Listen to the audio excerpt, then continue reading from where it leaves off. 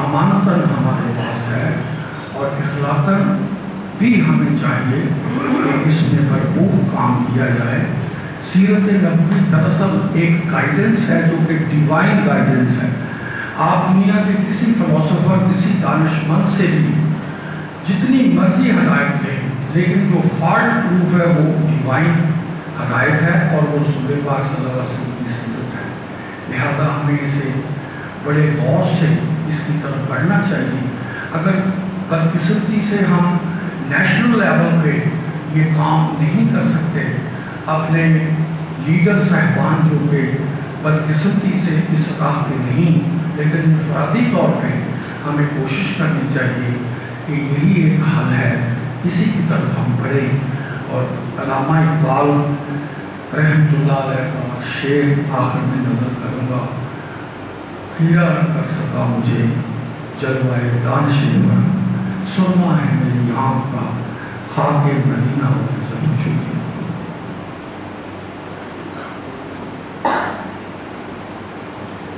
یہ تھے جی پرویز احمد خان صاحب اب میں حرف آغاز کے لیے دعوت دوں گا شمس العالمین صاحب۔ کو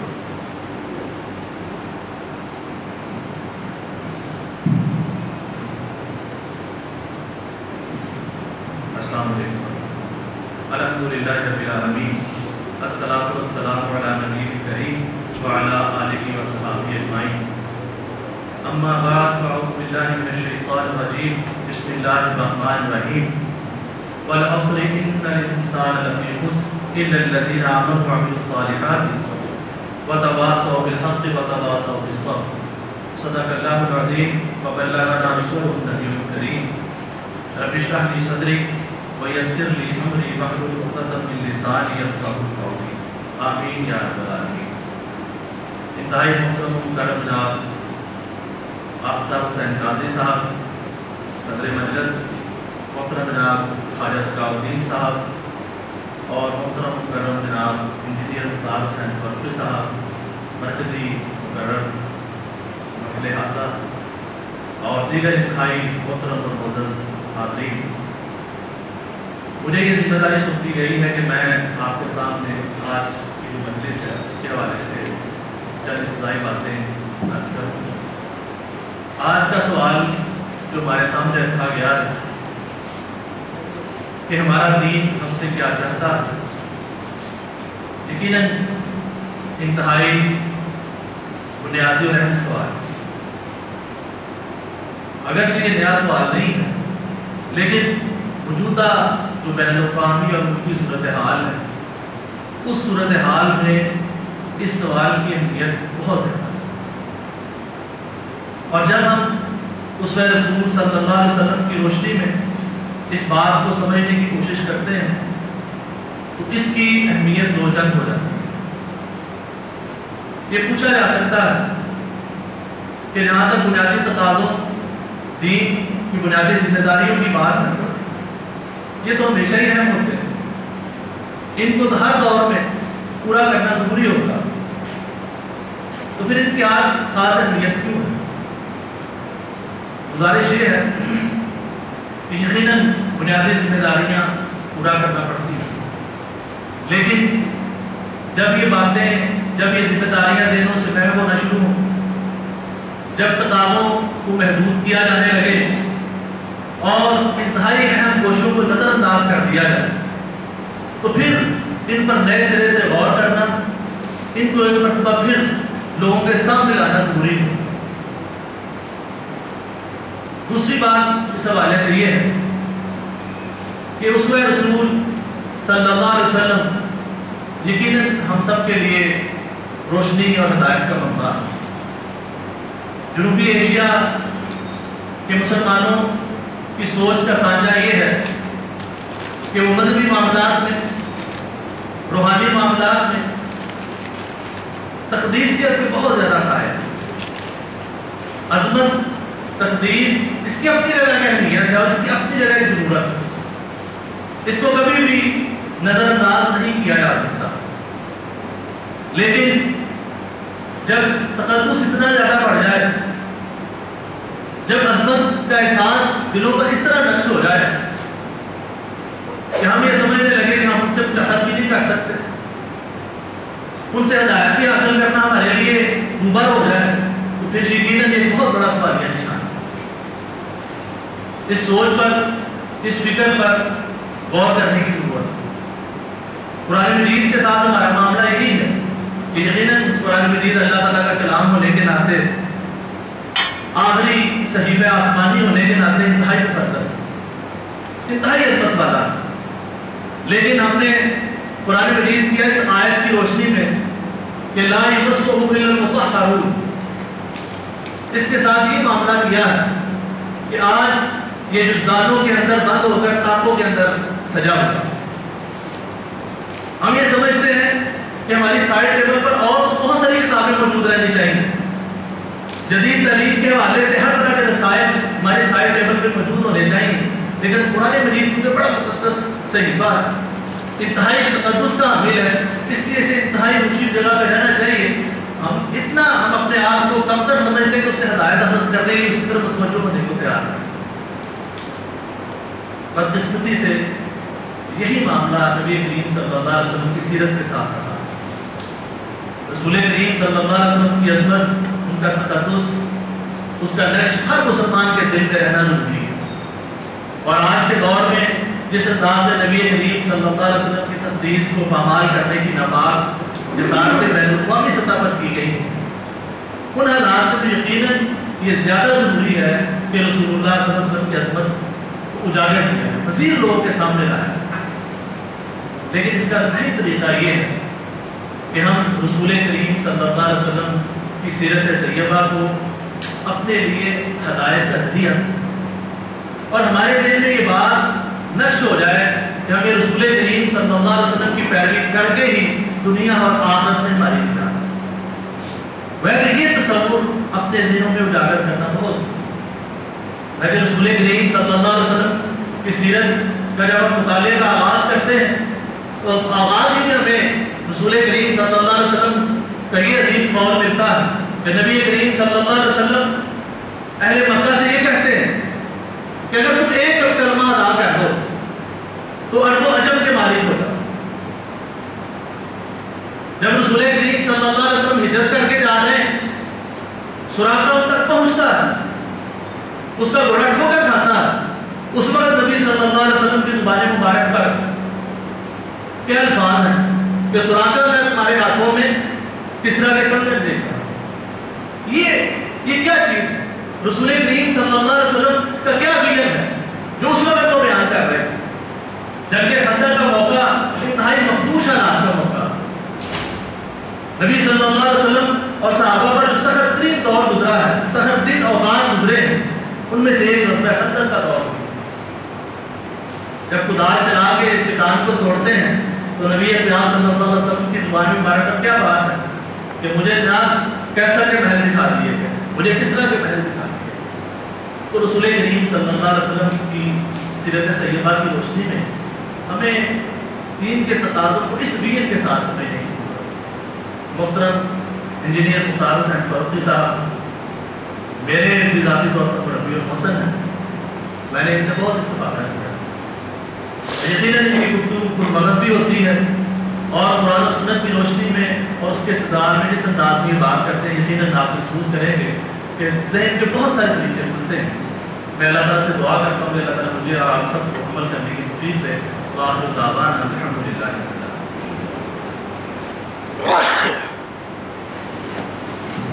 یہ تھے شمس العظیم صاحب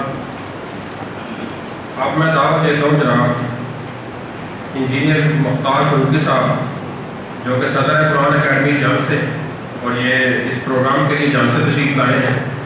اور یہ آج کے موضوع ہمارا دین ہم سے کیا چاہتا ہے، اس بارے میں آپ سے بات کریں گے جی انجینئر مختار فروقی صاحب۔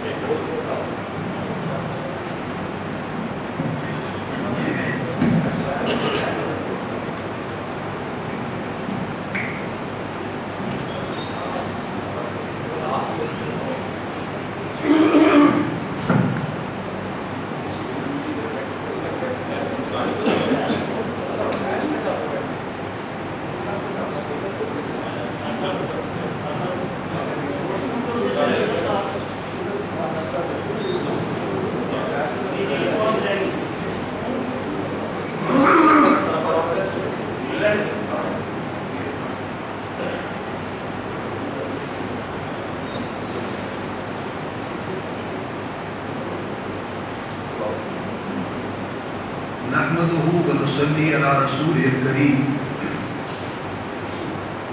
أما بعد فأعوذ بالله من الشيطان الرجيم بسم الله الرحمن الرحيم قال تبارك وتعالى لقد كان لكم في رسول الله أسوة حسنة صدق الله العظيم وقال النبي صلى الله عليه وسلم ولنفسك عليك حقا، ولزوجك عليك حقا، ولجارك عليك حقا، او كما قال صلى الله عليه وسلم۔ حضرات، میں زیادہ کسی تمہید کے اپنے موضوع سے متعلق کی گفتگو کا آغاز کر رہا ہوں۔ قرآن مجید کی جو آیت ابھی دو آیتیں تلاوت کی گئی ہیں آغاز میں۔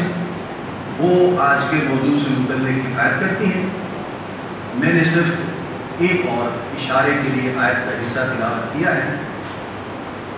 اور وہ اس لحاظ سے ہے کہ مجھے یہاں آ کر باقی بہت خوشی ہوئی۔ ہے دو لحاظ سے۔ ایک لحاظ سے کہ میں نہیں سمجھتا کہ سیرت النبی صلی اللہ علیہ وسلم کے حوالے سے اتنا بڑا کوئی مرکز پورے ملک میں کہیں موجود اور مجھے اندازہ بھی نہیں تھا کہ اس طرح کا مرکز کوئی یہاں ہوگا۔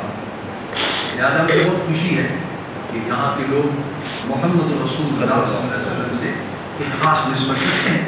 اور دوسرے علاقوں سے باہر دوسرے علاقے کے مسلمانوں سے اور دانشوروں سے چند قدم آگے۔ اور یہ آیت کا ٹکڑا میں نے اسی لیے تجارت کیا ہے کہ آج کا موضوع دین ہم سے کیا چاہتا ہے۔ یہ بھی مختصر الفاظ میں اگر کہا جائے کہ محمد رسول اللہ صلی اللہ علیہ وسلم کی سیرت کہیں بیان کہ ان پر یہ دین اترا تھا اور انہوں نے زندگی کیسے گزاری؟ ہمیں ہمیں محمد رسول اللہ صلی اللہ علیہ وسلم کے نقش قدم پر ہی اپنی زندگی گزارنی ہے۔ اگر ہم محمد صلی اللہ علیہ وسلم کے نقش قدم پر زندگی گزار ہیں تو چونکہ محمد رسول اللہ نے دین کا حق ادا کیا ہے اور جو کچھ اللہ کے تقاضے ایک انسان پر بنتے ہیں اور کوئی ادا کرے نہ کرے محمد رسول اللہ نے تو ضرور ادا کیا لہذا محمد رسول اللہ کی سیرت متعارف ہے، وہ دین ہم سے کیا چاہتا ہے؟ کا کامل ترین، مکمل ترین ہم اور اگر میں مزید اس کی وضاحت کر دوں تو یہ ہے کہ اگر ہمیں صاحب ظاہر گفتگو میں تو چند باتیں آپ کے سامنے آ سکیں گی۔ پینتالیس منٹ یا ایک گھنٹے میں۔ مزید جو بات درکار ہوگی کہ دین ہم سے کیا چاہتا ہے، اگر ہم سیریس ہیں، جاننا چاہتے ہیں، تو ہمیں محمد رسول اللہ کی سیرت کا مطالعہ۔ اس سے ہمیں اندازہ ہوگا کہ دین کی اہمیت کیا ہے اور محمد الرسول اللہ صلی اللہ علیہ وسلم نے اسے کتنا اہم سمجھا اور پہلی وحی کے بعد اور دنیا میں آپ نے جو وقت گزارا ہے، آخری سانس تک، اس میں آپ نے دین کو کتنی اہمیت دی؟ دوسری چیزوں کی پرائرٹیز کیا رہی؟ گھر میں کتنا وقت دیا، بچوں کو کتنا وقت دیا، کاروبار کے لیے کتنا وقت دیا، دوستوں کو کتنا وقت دیا، برادری کے لوگوں کو کتنا وقت دیا؟ اور دین کے لیے کتنا وقت دیا، یہ کسی وضاحت کی محتاج نہیں رہے بات۔ سیرت النبی صلی اللہ علیہ وسلم کا مطالعہ کریں گے تو یہ بات آج خود آپ پر واضح بلکہ آپ کا دل خود گواہی دے گا کہ میں کیا سمجھتا تھا محمد رسول اللہ صلی اللہ علیہ وسلم کو، اور ان کی سیرت طیبہ کیا ہے، ان کی زندگی کے حالات کیا ہیں، ان کی زندگی کا نمونہ۔ دوسری بات جو خوشی ہوئی ہے مجھے یہاں آ کر کہ آج کے دور میں جو حالات ملک پر گزر رہے ہیں بین الاقوامی لحاظ سے گزر رہے ہیں، کہ کچھ لوگ بھی زندہ ہیں جو اس موضوع پر بھی بات سننے کو تیار ہے کہ دین ہم سے کیا چاہے۔ اور آج کل حالات نہیں۔ ہمارا لائف سٹائل بالکل مختلف ہے۔ آج ایک عام انسان کی سوچ بہت مختلف ہے۔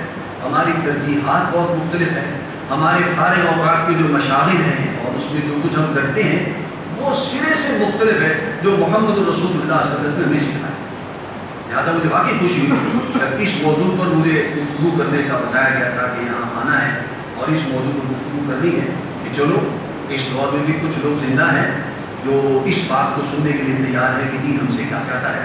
اور اگر جذبہ خالص ہو اور جذبہ صادق ہو تو پھر کوئی وجہ نہیں ہوتی کہ آدمی کوئی بات سن، کوئی بات سنے اور اس پر عمل کا جذبہ پیدا بات ہوتی ہے دل کی گواہی اگر کوئی بات سنی جائے اور وہ بات معقول ہو اور سننے والا بھی ایک باضمیر انسان ہو، جس کے اندر کا انسان زندہ ہو، تو کوئی وجہ نہیں ہے کہ وہ بات دل کو لگے۔ اور بات دل کو لگے اور دل گواہی دے دے، تو پھر کسی معقول انسان کے پاس اس کو رد کرنے کا کوئی جواب نہیں۔ اگر وہ رد کر دے گا، تو قیامت کے دن بہرحال اس کی جواب دے گی۔ وہ نہ مانے کسی وجہ سے، کسی حق بات کو، کسی معقول بات کو۔ لیکن قیامت کے دن سب سے بڑی دلی تو یہ ہوگی کہ تمہارے دل نے گواہی دے دی تھی، پھر بھی تم نے کیوں؟ کیوں نہیں مانا؟ اور آدمی اللہ کے سامنے کوئی جواب نہیں سکتا تو واقعہ مجھے خوشی ہوئی ہے آپ اطلاع سے مل کر اور آپ کو یہاں موجود پا کر کہ دین ہم سے کیا چاہتا ہے۔ اس میں جو پہلی بات میں موضوع سے متعلق آپ کے سامنے رکھنا چاہتا ہوں کہ دین کا لفظ ہمارے لیے عام طور پر نیا ہے۔ اس لیے کہ گزشتہ دو سو سال سے جنوبی ایشیا میں وہ انگریز بہادر کی حکومت رہی ہے اور سن سینتالیس کی آزادی کے بعد بھی ابھی تک اس کے زیر سائے ہی ہیں انگریز نے جو بھی تعلیمات دی ہے جو زندگی کا نقطۂ نظر دیا ہے، جو سوچ دی ہے، اس میں ایک لفظ آیا تھا، وہاں سے ریلیجن اس کا ترجمہ ہم نے مذہب کر دیا۔ آج اس کی، اس کا نتیجہ یہ ہے کہ آپ نے فون لگوانا ہو، موبائل فون لینا ہو، پی ٹی سیل فون لینا ہو، دو مسائل ہو، شناختی کارڈ بنوانا ہو، آپ نے کہ ملازمت کی درخواست دینی ہو بچے کو داخل کرنا ہو، وہاں لکھا ہوتا ہے کہ تمہارا مذہب کیا ہے۔ اور پاکستان میں مسلمان ستانوے فیصد ہے ہندو بھی ہیں، عیسائی بھی ہیں، سکھ بھی ہیں، پارسی بھی ہیں۔ تو وہ دیگر مذاہب والے اور کچھ لکھتے تھے ہم مسلمان اس میں اس میں لکھتے ہیں کہ ہمارا مذہب اسلام ہمارے لیے معروف لفظ جو مذہب کا ہے۔ دین کا لفظ ہے، عام طور پر مستعمل نہیں۔ اور مذہب کا لفظ عربی میں ہے، عربی کا ہے۔ اور آپ حیران ہوں گے کہ اگرچہ آج ہم سمجھتے ہیں کہ ہمارا مذہب اسلام ہے، لیکن مذہب کا لفظ قرآن مجید میں ہے ہی نہیں۔ اور حدیث میں بھی میرے علم کے حد نہیں۔ مذہب کا لفظ ہی ہے، حالانکہ عربی کا قرآن مجید میں لفظ ہے، سورہ آل عمران میں، ان الدین عند اللہ الاسلام بے شک دین تو اللہ کے نزدیک صرف اسلام ہے۔ ہم سمجھتے ہیں کہ دین دین کیا چیز ہے۔ تو مذہب کی بات کرو مذہب تو اسلام ہے۔ ایک سوال یہ نشان ہے کہ ہم یہ جو لفظ مذہب لیے پھر رہے ہیں کہاں جائے؟ سامنے جب دو الفاظ ہیں، ایک لفظ ہم نے ڈیلیٹ کر دیا اور ایک اس کی جگہ پر پیسٹ کر دیا، تو نتیجہ تو کوئی کو نکلا ہے کہ وہ سارے تصورات جو دین کے لفظ کے ساتھ تھے، وہ سارے کے سارے ڈیلیٹ ہو گئے۔ ہمارے ذہنوں میں نہیں مذہب کے ساتھ جو مغرب کے تصورات آئے ہوئے تھے وہ سارے کے سارے ہمارے ذہن میں ہم مذہب کو دوسری حقیقت سمجھتے ہیں۔ مغرب کے نزدیک میں اس کی وضاحت نہیں کر سکتا زیادہ کہ وہ جو ہمارے حکمرانوں کی زبان پر کبھی کبھی آ جاتے ہیں تبصرے یا وہ کوئی ریٹ طبقات میں آ جاتے ہیں کہ مذہب تو اللہ اور بندے کا ایک پرائیویٹ معاملہ ہے۔ اس کا اجتماعیت سے، حکومت سے، ریاست سے کوئی تعلق مغرب والے نے چرچ اور اسٹیٹ کو تو تین صدیاں پہلے الگ کر دیا۔ چرچ کا ریاست کے ساتھ اسٹیٹ کے ساتھ لا کے ساتھ کوئی وہی تو سو ہمارا آج بن گیا جبکہ قرآن مجید میں اسلام کے لیے دین کا لفظ آیا۔ اور صرف یہی آیت ہوتی تو شاید گنجائش ہوتی کہ ہو ٹھیک ہے، ہوگا، بڑی بابرکت، بڑا بابرکت لفظ ہے اور ماشاء اللہ اس کے بڑے فائدے ہوں گے۔ اور یہ اللہ نے فرمایا، یہ دین کی اصطلاح اتنی کروشل ہے۔ اور اتنی بنیادی ہے، وَمَنْ يَبْتَغِ غَيْرَ الْإِسْلَامِ دِينًا۔ جس کسی نے اسلام کے علاوہ کسی اور چیز کو دین بنا لیا، اسلام دین ہے، اس کا ایک اسٹیٹس ہے، اس کی ایک حیثیت ہے۔ آپ اگر یہ کریں کہ جی دین کو اسلام کو ہٹا دو، دین کے مقام سے اور چیز، دین کے مقام پر لے آؤ۔ فلن يقبل منه۔ اس سے قیامت کے دن وہ قبول نہیں کیا وہ پھر آخرت من الخاسرین اور وہ شخص قیامت کے دن خائب ہوگا، خسارے میں ہوگا، پریشان ہوگا، سر پیٹے گا، بال نوچے اور گاٹا خزانہ جس جی کو ہو جاتا ہے، وہ ہارٹ اٹیک ہو جاتا ہے، اور دماغ خراب ہو جاتا ہے تو اور مسائل کر جاتا ہے۔ اسی طرح کی صورت حال ہوگی اس تو سوال یہ پیدا ہوتا ہے کہ یہ جو تبدیلی ہو گئی اس طرح کی ہمارے نزدیک اس کی وجہ سے ہماری سوچ میں اس کے باوجود میں سمجھتا ہوں کہ یہ بہت اہم ہے کہ ہم اس وقت جمع ہیں کہ دین ہم سے کیا چاہتا ہے؟ بنیادی طور پر دو تین جملوں میں بات واضح کر سکتا ہوں کہ مذہب ایک جزوی حقیقت ہے۔ چند چھوٹی سی چیزیں، کچھ عقائد ہیں، کچھ عبادات ہیں، کچھ رسومات ہیں، بس ان کو آپ اڈاپٹ کر لیں۔ امریکہ جیسے ہے آج ملک کہ امریکہ کی مثال چھوڑ دیں، آج سے اسی سال پہلے ہم اسی ملک میں رہتے تھے اور یہاں انگریز کی حکومت اور انگریز جو ہے، اس نے تمام مذاہب کے لوگوں کو اجازت دے رکھی تھی کہ وہ نہ لیں منصوبہ تھا ایک مذاہب کا۔ مسلمان بھی تھے، ہندو بھی تھے، سکھ بھی تھے، پارسی بھی تھے، جین مت بھی تھے، بدھ مت بھی تھے، ساری تھے اور ہر ایک کو اپنے مذہب پر عمل کرنے کی اجازت۔ کوئی مسجد میں جائے، کوئی مندر میں جائے، کوئی سینیگاگ میں جائے، کوئی چرچ میں جائے، جہاں کہیں مرضی جائے عبادت کریے انگریز کی صحت پر اس سے کوئی کوئی فوت ہو جائے ہندو جلا دیتے ہیں۔ اور پارسی جو ہے، وہ دہی لگا کے وہ کہیں ادھر پہاڑ پر رکھ دیتے ہیں چڑیاں کھا چیلیں کھا جاتی ہیں۔ کوئی کسی طرح کرتا ہے مسلمان دفناتے ہیں، ادب سے احترام سے۔ ہندو کو شک ہو رہے جو فوت ہو جائے تم کیا کرو؟ شادی بیاہ کے معاملات میں بھی؟ وہ تم پھیرے ڈالو، تم نکاح کر لو، تم یہ کر لو، تم یہ کر لو۔ ٹھیک تمہارا ذاتی معاملہ۔ لیکن انگریز نے کہا تھا کہ لا آف دی لینڈ میرا ہوگا۔ اس میں کسی مذہب کا ریفرنس نہیں آئے گا کہ چونکہ ہمارے مذہب میں یہ ہے، لہٰذا یہ ہونا چاہیے نتھنگ مذہب تمہارا پرائیویٹ آج بھی ہماری ایشو جبکہ دین یہ چاہتا ہے کہ پورے زندگی کے معاملات جو ہیں، دین اس پر حاوی ہے۔ زندگی کا کوئی گوشہ آپ کنسیو نہیں کر سکتے، سوچ نہیں سکتے کہ جو آپ سوچیں اور مذہب کہہ دیا ہاں اس میں تو کوئی دخل نہیں کرے یہ تمہارا آتا اس میں جو مرضی کرو کوئی نہیں سکتا۔ آپ بیڈ روم میں ہوں آپ باتھ روم میں ہوں آپ بس میں ہوں آپ ہوائی جہاز میں ہوں آپ گھر میں ہوں آپ دفتر میں ہوں آپ کلب میں ہوں کہیں بھی ہوں دین کے کچھ نہ کچھ احکامات ہیں جو آپ پر ہیں۔ آپ عوام میں سے ہیں، آپ خواص میں سے ہیں۔ آپ حاکم ہیں، آپ محکوم ہیں، خاتون ہیں یا مرد ہیں، ہر ایک کے لیے اللہ نے احکام اور آپ جس اسٹیٹس پر ہیں، جس حیثیت میں ہیں، جس مقام پر ہیں، اللہ کے دین کے احکامات اور ہر آدمی کو وہ احکامات سیکھنے چاہیے۔ ہر آدمی پر وہی نہیں آتی۔ وہ وہی اللہ نے حضرت آدم پر بھیجی تھی علیہ السلام اور تو چیدہ چیدہ لوگوں پر آتی رہی اور ان میں سے محمد رسول اللہ صلی اللہ علیہ وسلم آخری پیغمبر تھے۔ اور نبوت کا دوبارہ بند۔ آپ کو آدمی سوچے نا کہ اللہ مجھے کہہ دے تو میں مان جاؤں گا فلاں بات، یا محمد رسول اللہ صلی اللہ علیہ وسلم مجھے خواب میں کہہ دے تو میں مان جاؤں گا؟ کبھی نہیں ہوگا نیور اب تو وہ وہی جو موجود ہے قرآن مجید پڑھنا پڑے گا۔ کہ وہ دین ہم سے کیا چاہتا ہے۔ میں فلاں شعبے سے تعلق رکھتا ہوں۔ میری زندگی کے یہ معاملات ہیں، یہ میرا اسٹیٹس ہے، یہ میری مصروفیات ہیں۔ میرا دین مجھ سے کیا چاہتا ہے؟ کہ ہر آدمی کو خود آگے بڑھ کر اس کو تلاش کرنا ہوگا، اس کو سیکھنا ہوگا، اس کو سمجھنا ہوگا، پھر اس پر عمل کرنا۔ اس کے ساتھ انسان کی کامیابی مجھے ہم مسلمان ہیں، ہم آخرت کے ماننے والے ہیں۔ ہمارے لیے یہ دنیا کی زندگی اصل زندگی نہیں ہے، یہ تو عارضی چلے جائیں اصل زندگی تو آخرت کی زندگی، وہ ہمیشہ ہمیشہ کی زندگی۔ وہاں کی کامیابی اپنے دین کے تقاضے سمجھنے، اس کو یاد کرنے، اس پر عمل کرنے، اس کو آگے پھیلانے سے گزرنے اگر یہ کام کریں گے، آخرت کی کامیابی، دنیا میں بھی کامیابی، آخرت میں بھی کامیابی۔ دنیا میں بھی کیسے ہو کس طرح کے کنگن تمہارے ہاتھوں میں ہوں گے۔ اور آخرت کی کامیابی تو ہے ہی ہے اس میں کوئی شک نہیں۔ اور اگر ہم واقعتاً اللہ کے دین کو اپنا لیں، تو اگر محمد رسول اللہ صلی اللہ علیہ وسلم جب مکے سے ہجرت کر کے مدینے جا رہے تھے، تو حالات بہت ہی خراب تھے۔ آپ سوچیں کہ وہاں آپ کے قتل کا فیصلہ ہو چکا تھا اور رہنے نہیں دیا جا رہا تھا۔ وہاں سے آپ بظاہر آباد اللہ کے حکم سے ایک اور بستی میں جا رہے ہیں۔ نہ معلوم کیا حالات ہو اس وقت نہیں پتا۔ لیکن اللہ نے کہا کہ حالات بہت اچھی ہو جائے گی اللہ کا دین ان کو قائم ہونا تو یہ دین جو آج اسی طرح مشکل حالات میں ہے، یہ ضروری نہیں ہے کہ ہمیشہ ہی ایسا ہے ماضی میں ہمیشہ سے ایسا نہیں تھا۔ یہ مغرب کی تہذیب آج سے چھ صدیوں کی شادی ہے۔ اس سے پہلے دنیا میں ایک ہزار سال تک مسلمانوں نے ساری دنیا پر روح کی کوئی مقابلے میں نہیں تھا۔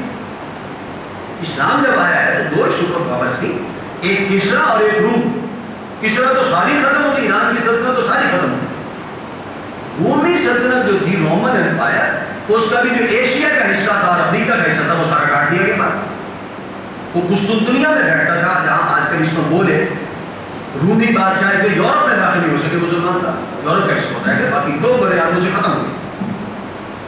اگر آج بھی اسلام کو اپنا لیں تو کیا دو سو سال بعد وہ پھر یورپ میں مسلمان نہیں جا سکتے اسپین میں گئے، تاریخ نے انتظار کیا ہے اور آٹھ سو سال مسلمان میں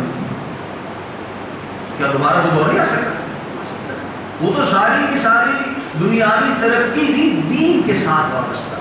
اگر دین کے ساتھ ہم مخلص ہو جائیں، تو جیسے رسول اللہ صلی اللہ علیہ وسلم اس وقت ایک شخص کو کیسر و کس کسرا کے کنگن کی بشارت دی ہے، اسی طرح جو ہے آج بھی بشارت دی جا سکتی علامہ اقبال نے پاکستان بننے سے پہلے بہت مشکل حالات ہے غلامی کا دور تھا۔ سن تیس تک، بتیس، تینتیس تک تو سوچ بھی نہیں سکتا تھا کہ پاکستان بن جائے۔ علامہ اقبال کہتے ہیں علی گڑھ یونیورسٹی۔ وہاں انہوں نے طلبا سے خطاب کیا۔ اور طلبا سے خطاب کے علاوہ وہ ہاسٹل میں بھی دیکھا۔ نوجوانوں کو بڑے بڑے عمرا کے اور نوابین کے بچے وہاں پڑھتے تھے۔ اور انہوں نے وہ جو خطاب کیا تھا اسٹریٹجی ہال میں، اس میں انہوں نے کہا تھا کہ میں ان نوجوانوں کے چہروں پر دیکھ رہا ہوں کہ مستقبل کے حکمران مجھے نظر آ رہے ہیں۔ من نصیبہ غلامہ سر سلطان دیدہ ہیں یہ غلام بچے ہیں۔ غلام ابن غلام ابن غلام۔ لیکن ان کے چہروں پر ان کی پیشانیوں پر میں حکمرانی کے آثار دیکھا اور سن سنتالیس میں پاکستان بنا۔ وہی بچے جو اس وقت علی گڑھ میں پڑھ رہے تھے، انہی میں سے پی سی افسر بنے اور وزیر وزیر اعظم بنے اور یہ بنے اور یہ بنے۔ یہ ہو سکتا آج بھی آج بھی اگر ہم اسلام کے ساتھ، اسلام کو بطور دین اپنا لیں اور اسلام سے ساتھ اپنی وفاداری جو ہے، اس کو ثابت کر دیں تو کوئی وجہ نہیں ہے کہ مستقبل میں اسلام اسی طرح ہو جائے جیسے آج سے چھ سال ہے جیسے حضور کے دور میں اٹھا ہے، ساری دنیا پر چھا گیا۔ کوئی وجہ نہیں ہے کہ یہ دین دوبارہ اٹھے، ساری دنیا پر چھا۔ یہ اگر میں کہوں تو بات نہیں ہوگی۔ یہ بات محمد الرسول اللہ صلی اللہ علیہ وسلم کے لیے کیسے ہو تو دین کی بہت اہمیت ہے۔ محمد رسول اللہ صلی اللہ علیہ وسلم یہ دین اترا ہے۔ اور انہوں نے اس کے تقاضوں کا حق ادا کیا ہے۔ اب وہ کیسے ادا کیا ہے؟ یہ گزارشات میں چند حوالوں سے آپ کے سامنے رکھنا چاہتا ہوں۔ تفصیلات میں جانے کا موقع نہیں ہے۔ دین پوری زندگی میں اللہ اور اس کے رسول کے احکام کے ماننے کا نام ہر واک آف لائف اور کوئی شعبہ زندگی کا آپ کنسیو نہیں کر سکتے، سوچ نہیں سکتے کہ اس شعبے میں کوئی ہدایات نہیں۔ ہر شعبہ زندگی جو ممکن ہے، اس میں محمد الرسول اللہ علیہ وسلم کا لائف سٹائل اپنانا ہوگا۔ اور اس میں یہ بات ضمنی طور پر یاد رکھنی چاہیے کہ محمد رسول اللہ صلی اللہ علیہ وسلم کا اسوا ہمارے لیے سو فیصد اسوا اسوا کامل۔ لیکن اس کے باوجود محمد صلی اللہ علیہ وسلم کا اسوا مردوں کے لیے، عورتوں کے لیے جب مجموعی طور پر بات ہوگی تو دونوں کے لیے کام ہے لیکن محمد صلی اللہ علیہ وسلم ایک مرد تھے۔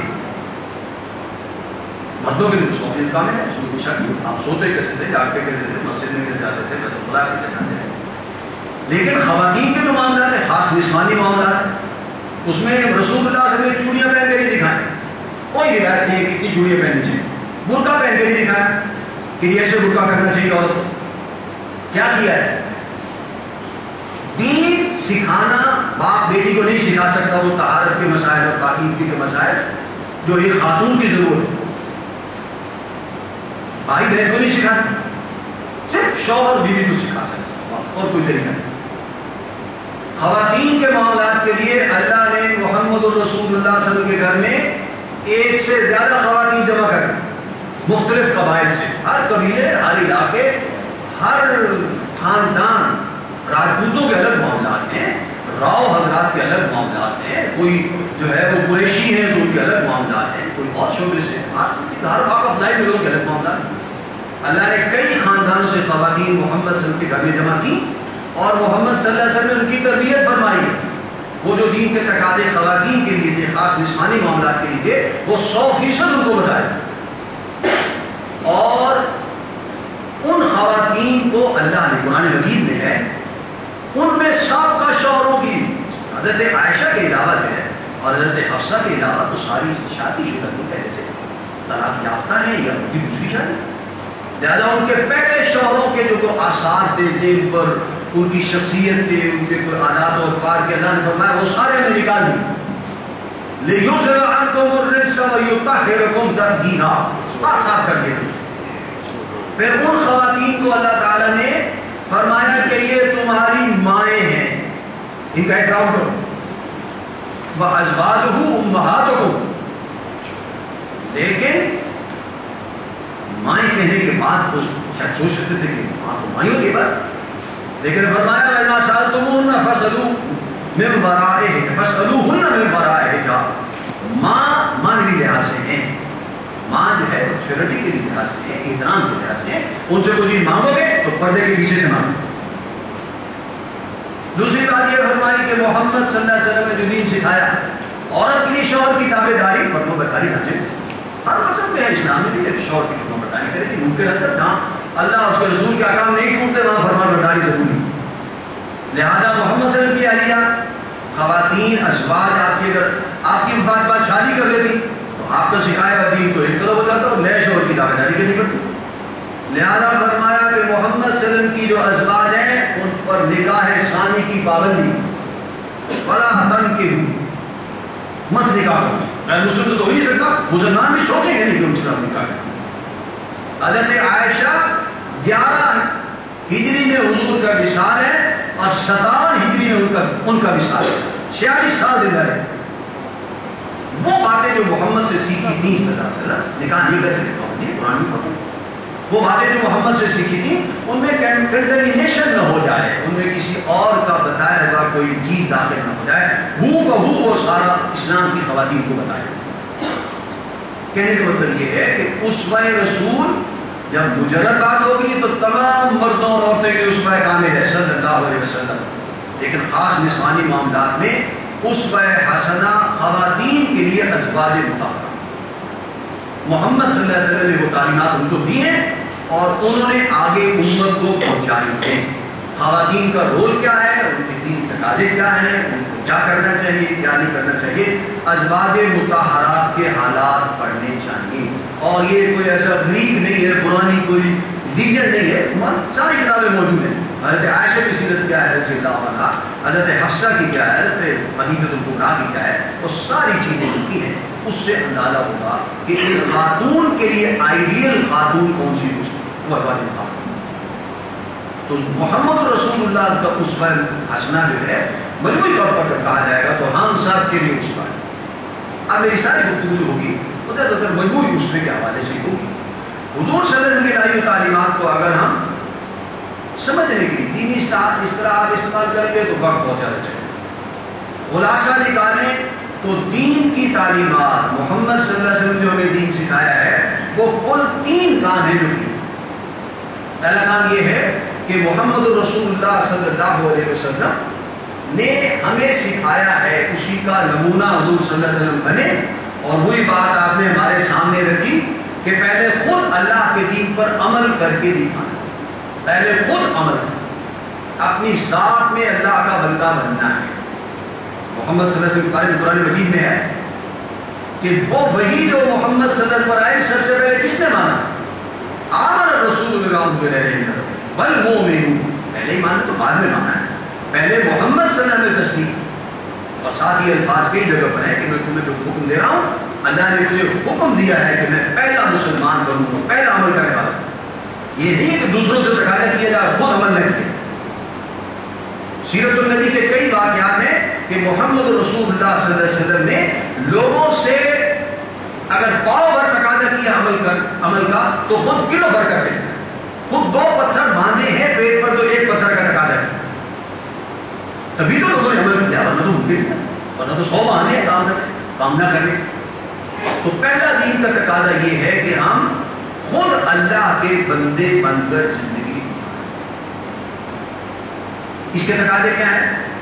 تفصیلات میں جائے بغیر تین کام اگر ہم کر دیں آج کوئی آدمی، کوئی اعلان ہوگا، آج بھی کسی فلاں صاحب تھے وہ فوت ہو گئے۔ ہمارا بھی کسی وقت آ جانا ہے۔ وقت آ جانا ہے کہ اعلان ہوگا کہ فلاں صاحب تھے وہ فوت ہو گئے، ان پر نماز جنازہ اتنی بجے ہوگی۔ ہمیں بھی اللہ کے سامنے پیش ہونا ہمارا معاملہ بھی پیش ہونے والا ہے کسی تم نے دین پر کتنا عمل کیا؟ ہم کہہ سکتے ہیں کہ جب ہم دنیا میں تھے جی فلاں صاحب کی حکومت تھی، فلاں حالات تھے، پالیسی فلاں تھی، میں تو دین پر چل ہی نہیں سکتا تھا۔ نہ تعلیم ہماری مرضی کی تھی، نہ میڈیا ہماری مرضی کا تھا، نہ اسکول میں پڑھایا جاتا تھا، وہ ہماری مرضی کا تھا۔ کیا کرتے ہیں؟ ہم تو مجبور تھے۔ ٹھیک ہے، بہت مجبوری ہے، لیکن تین کام پھر بھی اسے سب سے پہلا کام یہ ہے کہ اپنی ذات پر اسلام نافذ کریں یہ پانچ، چھ، ساڑھے چھ فٹ کا قد ہے۔ اور ڈیڑھ دو ڈھائی من کی جو لاش ہے، اس پر اسلام نافذ ہونا چاہیے۔ ہم صدر صاحب کو مطالبہ کرتے ہیں پورے پاکستان اٹھارہ کروڑ عوام پر اسلام نافذ کر دو میں کس کو دعویٰ کرتا ہوں کہ میں اپنی ذات پر اسلام نافذ نہیں کر سکتا؟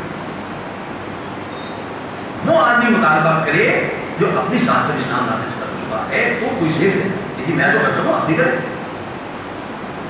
پہلا مطالبہ دین کا یہ ہے کہ اپنی ذات پر اسلام نافذ اللہ کا بندہ بننے کے لیے وضع، قطع، اٹھنا، بیٹھنا، سارے معاملات۔ دیکھو، ہم بہت سارے کام روز کرتے ہیں۔ سونا بھی ہے، جاگنا بھی ہے، بیت الخلا بھی جانا ہے، کھانا بھی ہے، پینا بھی ہے۔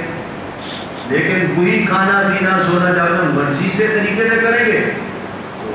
اور معاملہ ہوگا۔ اور اگر معلوم کر لیں کہ محمد صلی اللہ علیہ وسلم کیسے پیتے تھے اور کیسے کھاتے تھے اور کیسے بیت الخلا جاتے تھے اور کیسے نماز پڑھتے تھے، ہم ان چیزوں کو پیروی کر لیں تو وہی زندگی ہماری کھانا بدل فائدے مند فرق یہ کرنا جو ہے وہ کام۔ اس سے تو مغر ہے ہی نہیں۔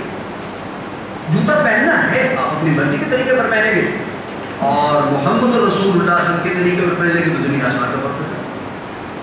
پہلا تقاضا یہ ہے کہ ہم خود اپنی ذات پر اسلام لا تب اللہ کے بندے بن سکتے تب کہہ سکتے ہیں کہ ہم اللہ کے بندے ہیں۔ دوسرا تقاضا یہ ہے کہ ہم اپنے گھر پر اسلام لا جو چار دیواری جس کے آپ چیف ایگزیکٹو ہیں اپنے گھر کا آپ کی چیف ایگزیکٹو؟ دفتر میں اس کی کیا حیثیت ہے؟ کوئی نائب قاصد ہے، کوئی قاصد ہے، کوئی اسسٹنٹ ہے، کوئی جونیئر کلرک ہے، کوئی ڈائریکٹر ہے، کوئی بڑا ہو سکتا ہے۔ حیثیتیں اپنی مختلف ہو سکتی ہیں لیکن اپنے گھر کا ہر آدمی چیف ایگزیکٹو لہذا اپنے گھر میں اسلام نافذ ہونا چاہیے۔ جو تقاضے ہیں ہونے چاہیے۔ اگر یہ تقاضا پورا نہیں کرتے ہم، تو کسی طریقے پر بھی ہم دعویٰ نہیں کر سکتے کہ جو میرے پاس میں دعویٰ کر رہا ہوں۔ اس کی تفاصیل ہے ہر آدمی سوچے گا اپنے گریبان میں ڈال کر دیکھے تو اس کو خود سمجھ میں آ سکتی ہے کہ وہ کیا کیا کر سکتا ہے اور کیا کیا نہیں کر سکتا۔ تیسرا تقاضا یہ ہے، کم از کم حالات مختلف ہیں پالیسیز حکومت کی ہیں، اقتصادی معاملات حکومت کے ہاتھ میں، ٹھیک ہے، سب کچھ۔ ٹھیک ہے جی ہم کچھ نہیں کر سکتے۔ لیکن ایک کام ہم کر سکتے ہیں کہ وہ پیسہ جو اسلام کے منع کرنے والے طریقے سے کمایا گیا ہے۔ وہ میرے گھر میں نہیں آ سکتا، میرے بینک اکاؤنٹ میں نہیں آ سکتا، میری جیب میں تیسرا کام یہ ملک میں کیا ہو رہا ہے، کون کیا کر رہا باجی وہ باتیں لے کر اللہ نے ہر طریقے سے پیسہ کمانا جائز نہیں کیا۔ لوٹ مار ہے، چوری ہے ڈکیتی ہے، سود ہے، رشوت ہے، ملاوٹ ہے بدیانتی ہے، منع ہے۔ ساری دنیا میں منع۔ سوشلزمس کہلاتے ہیں اور ان کی ریڈیکیشن ساری دنیا میں مثبت کام سمجھا جاتا ہے۔ کہ ہونی چاہیے امریکہ میں، جاپان میں، یورپ میں، پاکستان جگہ لاگ کم تولنا ایک جرم ہے، ملاوٹ کرنا ایک جرم ہے۔ عمل ہوتا نہیں ہوتا ہوتا تو ان طریقوں سے پیسہ کمانا جو منع کر دیے گئے ہیں کوئی پیسہ میرے بینک اکاؤنٹ میں، میری جیب میں اور میرے گھر میں خاص نہیں ہو سکتا۔ جو اس طریقے سے کمانا منع کر یہ تین اگر کام میں کر لوں، آپ کر دیں۔ تو ہم اگر اللہ کے سامنے اسی حالت میں پیش ہو جائیں تو ہم کہہ سکتے ہیں، اور مجھے اللہ سے سو فیصد توقع ہے کہ اللہ تعالیٰ کا گزر فرمائے گا کہ ٹھیک ہے، اگر آپ نے تین کام کیے ہیں، تو ٹھیک ہے، باقی مجبوریاں قابل قبول ہیں۔ حالات بہت خراب تھے دباؤ انٹرنیشنل بہت تھا۔ ملک میں دین پر عمل نہیں ہو سکتا تھا، یہ تین کام کیا ہے فری آپ لیکن اگر یہ تین کام بھی ہم نہ کریں تو پھر زیب نہیں دیتا کہ ہم یہ کہیں کہ ہم تو مسلمان ہیں اور ہم تو اللہ کے بندے ہیں اور یا کرا کو تو بھیا کا نستعین، اور ہم یہ کرنے والے ہیں اور اللہ کے لیے جو ہے وہ ان اللہ اشترا من المؤمنین انفسهم واموالهم بان لهم الجنہ۔ وہ آیتیں سن کر جو ہے آدمی سمجھے جی میں بھی دین کے تقاضے کو بتا ہوں۔ یہ اگر ہم کریں تو کم از کم ہم کہہ سکتے ہیں کہ ہم اپنی ذات میں اللہ کے بندے ہیں۔ محمد صلی اللہ علیہ وسلم کی طرف سے سیرت النبی کی تقاضے کے طور پر، اس کا حسنہ کی تقاضے کے طور پر پہلا تقاضا کہ ہم اللہ کے بندے بن کر زندگی گزاریں۔ دوسرا تقاضا یہ ہے کہ ہم اسی تصور زندگی کو عام کریں۔ سامنے دنیا میں کوئی چیز آج خود نہیں پھیلتی۔ نہ کوئی چیز آج خود پھیلتی ہے، نہ آج خود ختم ہو جاتی۔ ہے پھیلنے والی چیزیں پھیلائی جاتی ہیں، ختم کرنے کی چیزیں ختم کی جاتی ہے تو ختم۔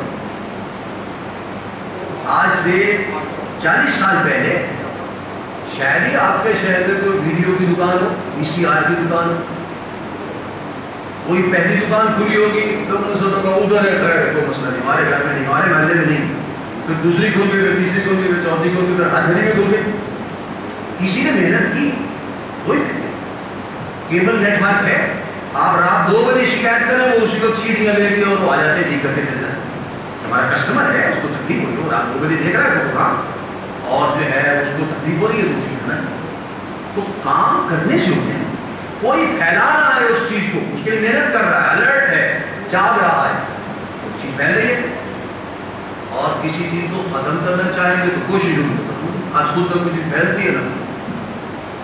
تو اگر ہم مسلمان ہیں اور محمد رسول اللہ کے دائرے میں تصور کو صحیح سمجھتے ہیں، تو اس تصور کو عام کرنا۔ یعنی خود عمل کرنا ہوگا، اپنی زندگی میں اللہ کے بندے بن کر زندگی گزارے اور دوسرا تقاضے ہو ہوگا اس کو اس کے لیے جو دینی اصطلاح ہے، وہ ذرا مشکل سے ہے، لیکن میں آپ کو ویسے سمجھانے کی کوشش کرتا ہوں کہ دیکھو، دین کا تقاضا ہم سے یہ ہے۔ پہلے نمبر کا دین کا تقاضا یہ ہے کہ ہم کوشش کریں کہ دین پر عمل کریں۔ جی، کوئی ستر فیصد عمل کرے گا اسی فیصد نوے فیصد، ننانوے فیصد سو فیصد بھی چلو لوگوں کو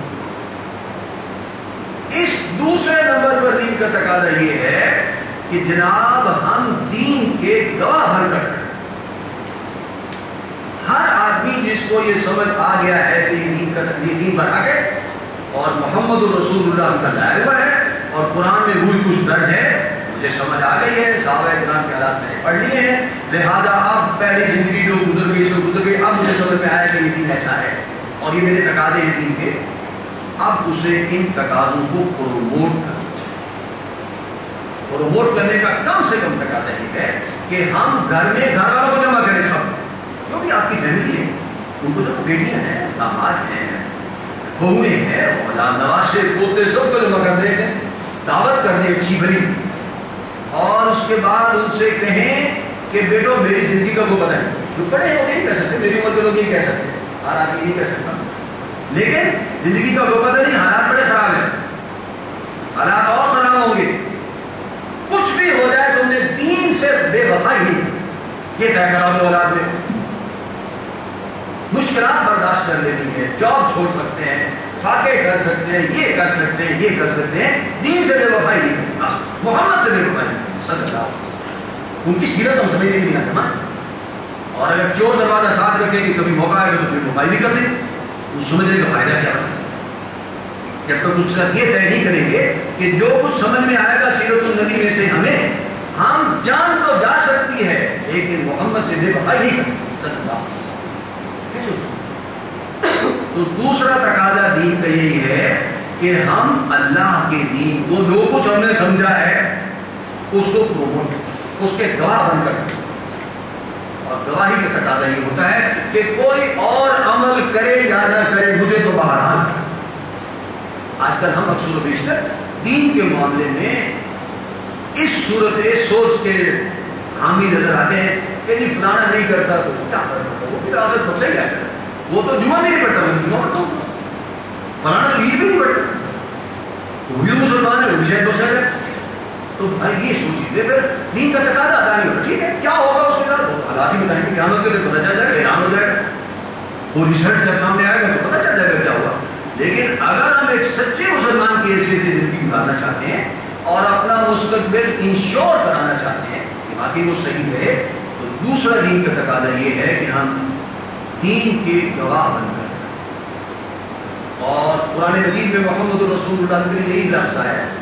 سورہ احزاب میں ہے، یا ایو النبی صلی اللہ علیہ وسلم، انا ارسلناک شاہدا و مبشرا و نذیرا و داعیا الی اللہ باذنہ و سراجا منیرا سب سے پہلا ہے، شاہد گواہ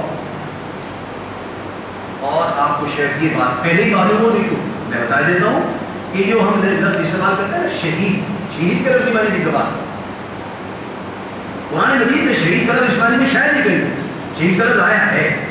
لیکن اس معنی میں شاید ہی کہیں قرآن میں ہمارے دین میں تو شہید کا لفظ آتا ہے، تو ایک لاش کا تصور آتا ہے کہ خون و خون لاش کا تصور آتا ہے۔ شہید کی یہ معنی ہر جگہ نہیں۔ شہید کا لفظ اللہ تعالیٰ کے لیے قرآن مجید۔ وَقَفَى بِاللَّهِ شَهِيدًا۔ وَالْإِنْ وَاللَّهُ عَلَى كُلِّ شَيْءٍ شَهِيدٌ۔ یہ معنی تو ہر جگہ نہیں ہو سکتا۔ ان سے نکال دیجیے یہ لفظ محمد رسول اللہ صلی اللہ علیہ وسلم کے لیے۔ فَقَيْفَ إِذَا جِئْنَا مِنْ كُلِّ أُمَّةٍ بِشَهِيدٍ؟ وَجِئْنَا بِكَ عَلَى هَؤُلَاءِ شَهِيدًا یہ معنی وہاں بھی نہیں ہو سکتا صلی اللہ علیہ وسلم. شہید کا لفظ معنی گواہ؟ قرآن مجید میں اللہ کے لیے جنگ کرنے والوں کے لیے لفظ ہے مقاتلہ، مقتول فی سبیل اللہ کا ولا تقولوا لمن يقتل في سبيل الله اموات بل احياء ولكن لا تشعرون. مقتول فی سبیل اللہ رسول اللہ صلی اللہ علیہ وسلم نے اس کو شہید کا لقب دیا کہ اصل دین کا گواہ یہ ہے. گواہی تو ہے آدمی کے دن میں ہے نا کہ دین کی گواہی ہو، دین کا گواہ بن کے کھڑا ہو۔ لیکن جس نے اللہ کے راستے میں جان دے دی، یہ اصل گواہ کہلانے کا مستحق ہے کہ اس نے جان دے دی لیکن محمد سے بے بھائی ہو۔ کوئی کلمہ زبان سے نکالنا گوارا نہیں کیا جس سے محمد کی توہین ہو جائے۔ کہ ان سے لا تعلقی کا کوئی وہ جو کوئی افسر ہے، کوئی تفتیشی افسر ہے وہی ندیہ نکالے گی شادی کو محمد سے کوئی تعلق نہیں کوئی لفظ ایسا نہیں ہوا جان دے دی لیکن محمد سے بے وفائی نہیں ہو اور یہ دور آگے آنے والا ہے کہ جد ہر ایک سے پوچھا ہے دین کا تقاضا یہ ہے کہ ہم دین کے گواہ بن کر اور اسی معنی میں آپ دیکھیں گے کہ حدیثوں میں ہے کہ جو آدمی اس طرح کی زندگی گزارتا ہے کہ اس نے طے کر رکھا ہے گھر میں ڈیٹرمنٹ ہے کنسیڈرڈ اس کی رائے ہے اوپینین ہے کہ میں نے دین پر چلنا ہے، میرے گھر والوں نے بھی فیصلہ کر لیا، میں چھوڑے سے ہم اللہ سے بے وفائی نہیں کریں اللہ کے رسول سے بے وفائی نہیں کریں گے صلی اللہ علیہ وسلم۔ وہ آدمی جلتا پھرتا شہید حضور نے فرمایا صلی اللہ علیہ وسلم، ایک حدیث میں اٹھارہ غالباً الفاظ ہیں۔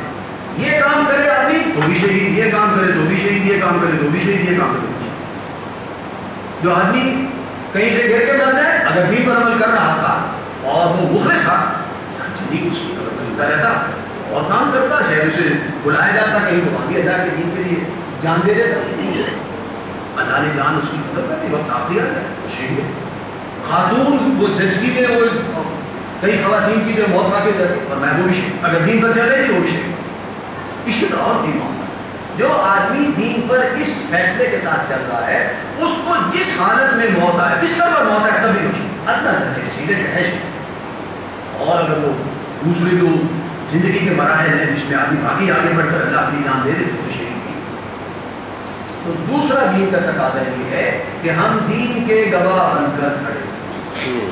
اور ہم میں سے ہر شخص شہادت کا مرتبہ پا سکتا ہے۔ ایک کلمہ ایک شہادت تو میں پہلے ہی منحصر ہے۔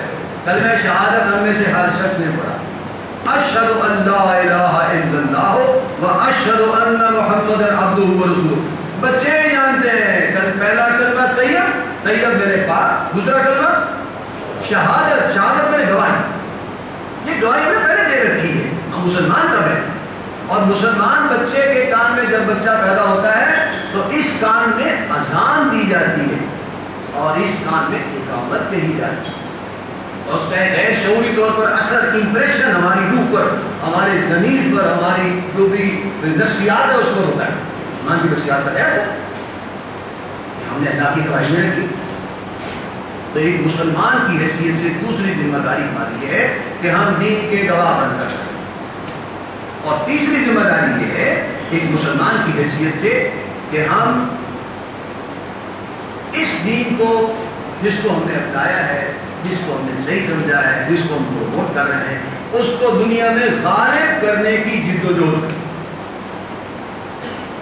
ہمارا دین دین حق ہے، اور دین وہ ہوتا ہے کہ وہ دیر تو لگ سکتی ہے۔ کبھی پچاس سال میں کبھی سو سال، پیغمبروں کے لیے جلدی ہو جاتا تھا۔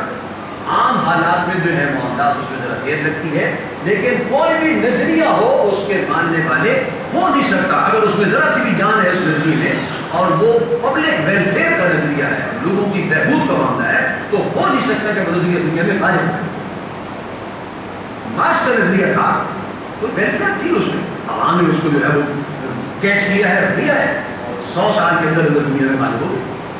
وہ چلا گیا، پتہ نہیں وہ اس کے ماننے والے کہاں ہیں، مجھے نہیں پتا اس نظریے کے ختم ہونے کے بعد کوئی ایک بھی آدمی مرثیہ کرنے والا نہیں ہوا جمع کہیں نظر آیا ایسے بات ہے کہ وہ بھی کوئی نظریہ ہوتا تھا اور کہاں چلا گیا لیکن ایک بار کوئی اس نظریے قبول کیا تھا لوگ اسی طرح اسلام، محمد صلی اللہ علیہ وسلم نے کہا پیش کی؟ وہ تو پیغمبر تھے۔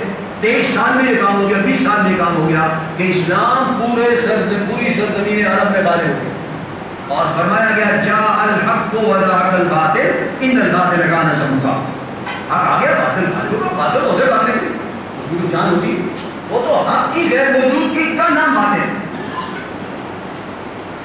تو تیسرا تقاضا ہمارے دین کا ہم سے یہ ہے کہ اس دین کو غالب کرنے کی جد و جہد کی جائے۔ اس کے لیے بہت ساری کوششیں ہیں۔ کیسے کوشش کرنی چاہیے؟ آپ کا مسئلہ ہوگا۔ اگر آج کی گفتگو سے آپ کو یہ احساس میں دلا سکوں کہ دین کے غلبے کی کوشش ہر مسلمان کی ذمہ ہے۔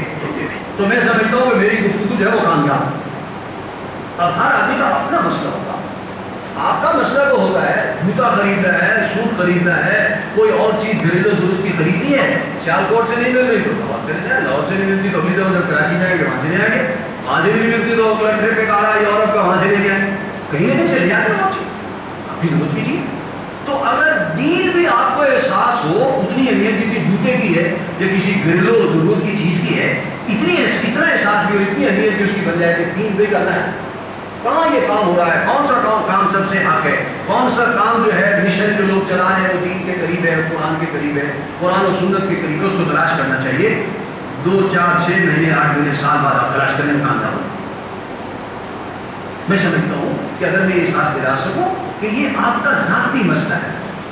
تو ذاتی مسئلہ یہ ہے کہ ایک مسلمان کی حیثیت سے ہماری ذمہ داری محمد صلی اللہ علیہ وسلم نے اپنے اسرے میں یہی بات ہمارے سامنے۔ وہی کے آغاز سے پہلے محمد رسول اللہ صلی اللہ علیہ وسلم ایک کامیاب تاجر تھے۔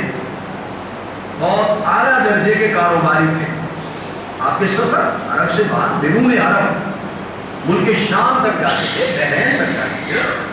اور ڈاکٹر حمید اللہ صاحب جو فرانس کے گزرے ہیں، وفات آ گئے، وہ تو کہتے ہیں کہ ہندوستان بھی آئے ہیں آپ صلی اللہ علیہ وسلم۔ لیکن بحرین تک آنا تو آپ پساتے تھے وہاں بھی وہ جو آج کل جیسے وہ نمائشیں لگتی ہیں کاروباری، وہ میلے لگتے تھے عرب میں، یہ کاش کا میلہ ہے، اور میلہ ہے، اور میلہ ہے۔ وہاں کاروباری افراد جمع ہوتے تھے، ملاقاتیں ہوتی تھی محمد صلی اللہ علیہ وسلم وہاں جاتے اور حضور صلی اللہ علیہ وسلم اپنے کردار سے لوگوں کو جو ہے، متاثر کرتے تھے۔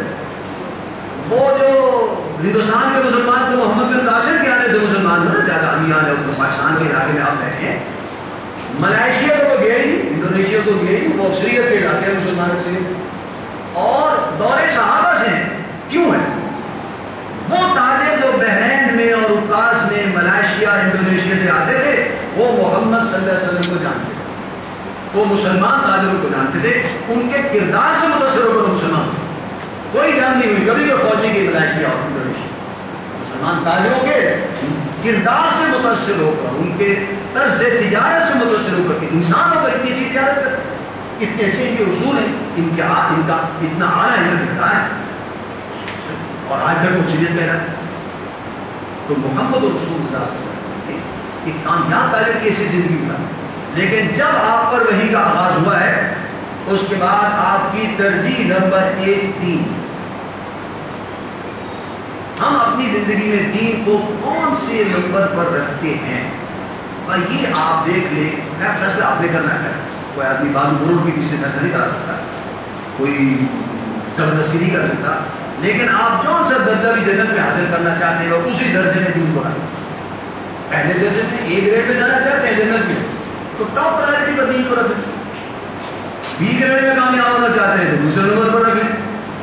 سی گریڈ میں کامیاب ہونا چاہتے ہیں تو تیسرے نمبر پر رکھ اس سے بھی نچلے درجے میں رکھیں تو بہترین مسلمان ہوگا اچھا مسلمان ہوگا جو ٹاپ پرائرٹی پر رکھنے کی۔ کہ محمد صلی اللہ علیہ وسلم کا میں امتی ہوں، انہوں نے اسی طرح کیا ہے، لہذا مجھے بھی اسی طرح کرنا چاہیے۔ لہذا یہ ہو سکتا ہے، نتیجہ نکالا جا سکتا ہے کہ محمد صلی اللہ علیہ وسلم نے چالیس سال کاروبار کیا، اس کے بعد تین نمبر ون پرائرٹی ہو گیا۔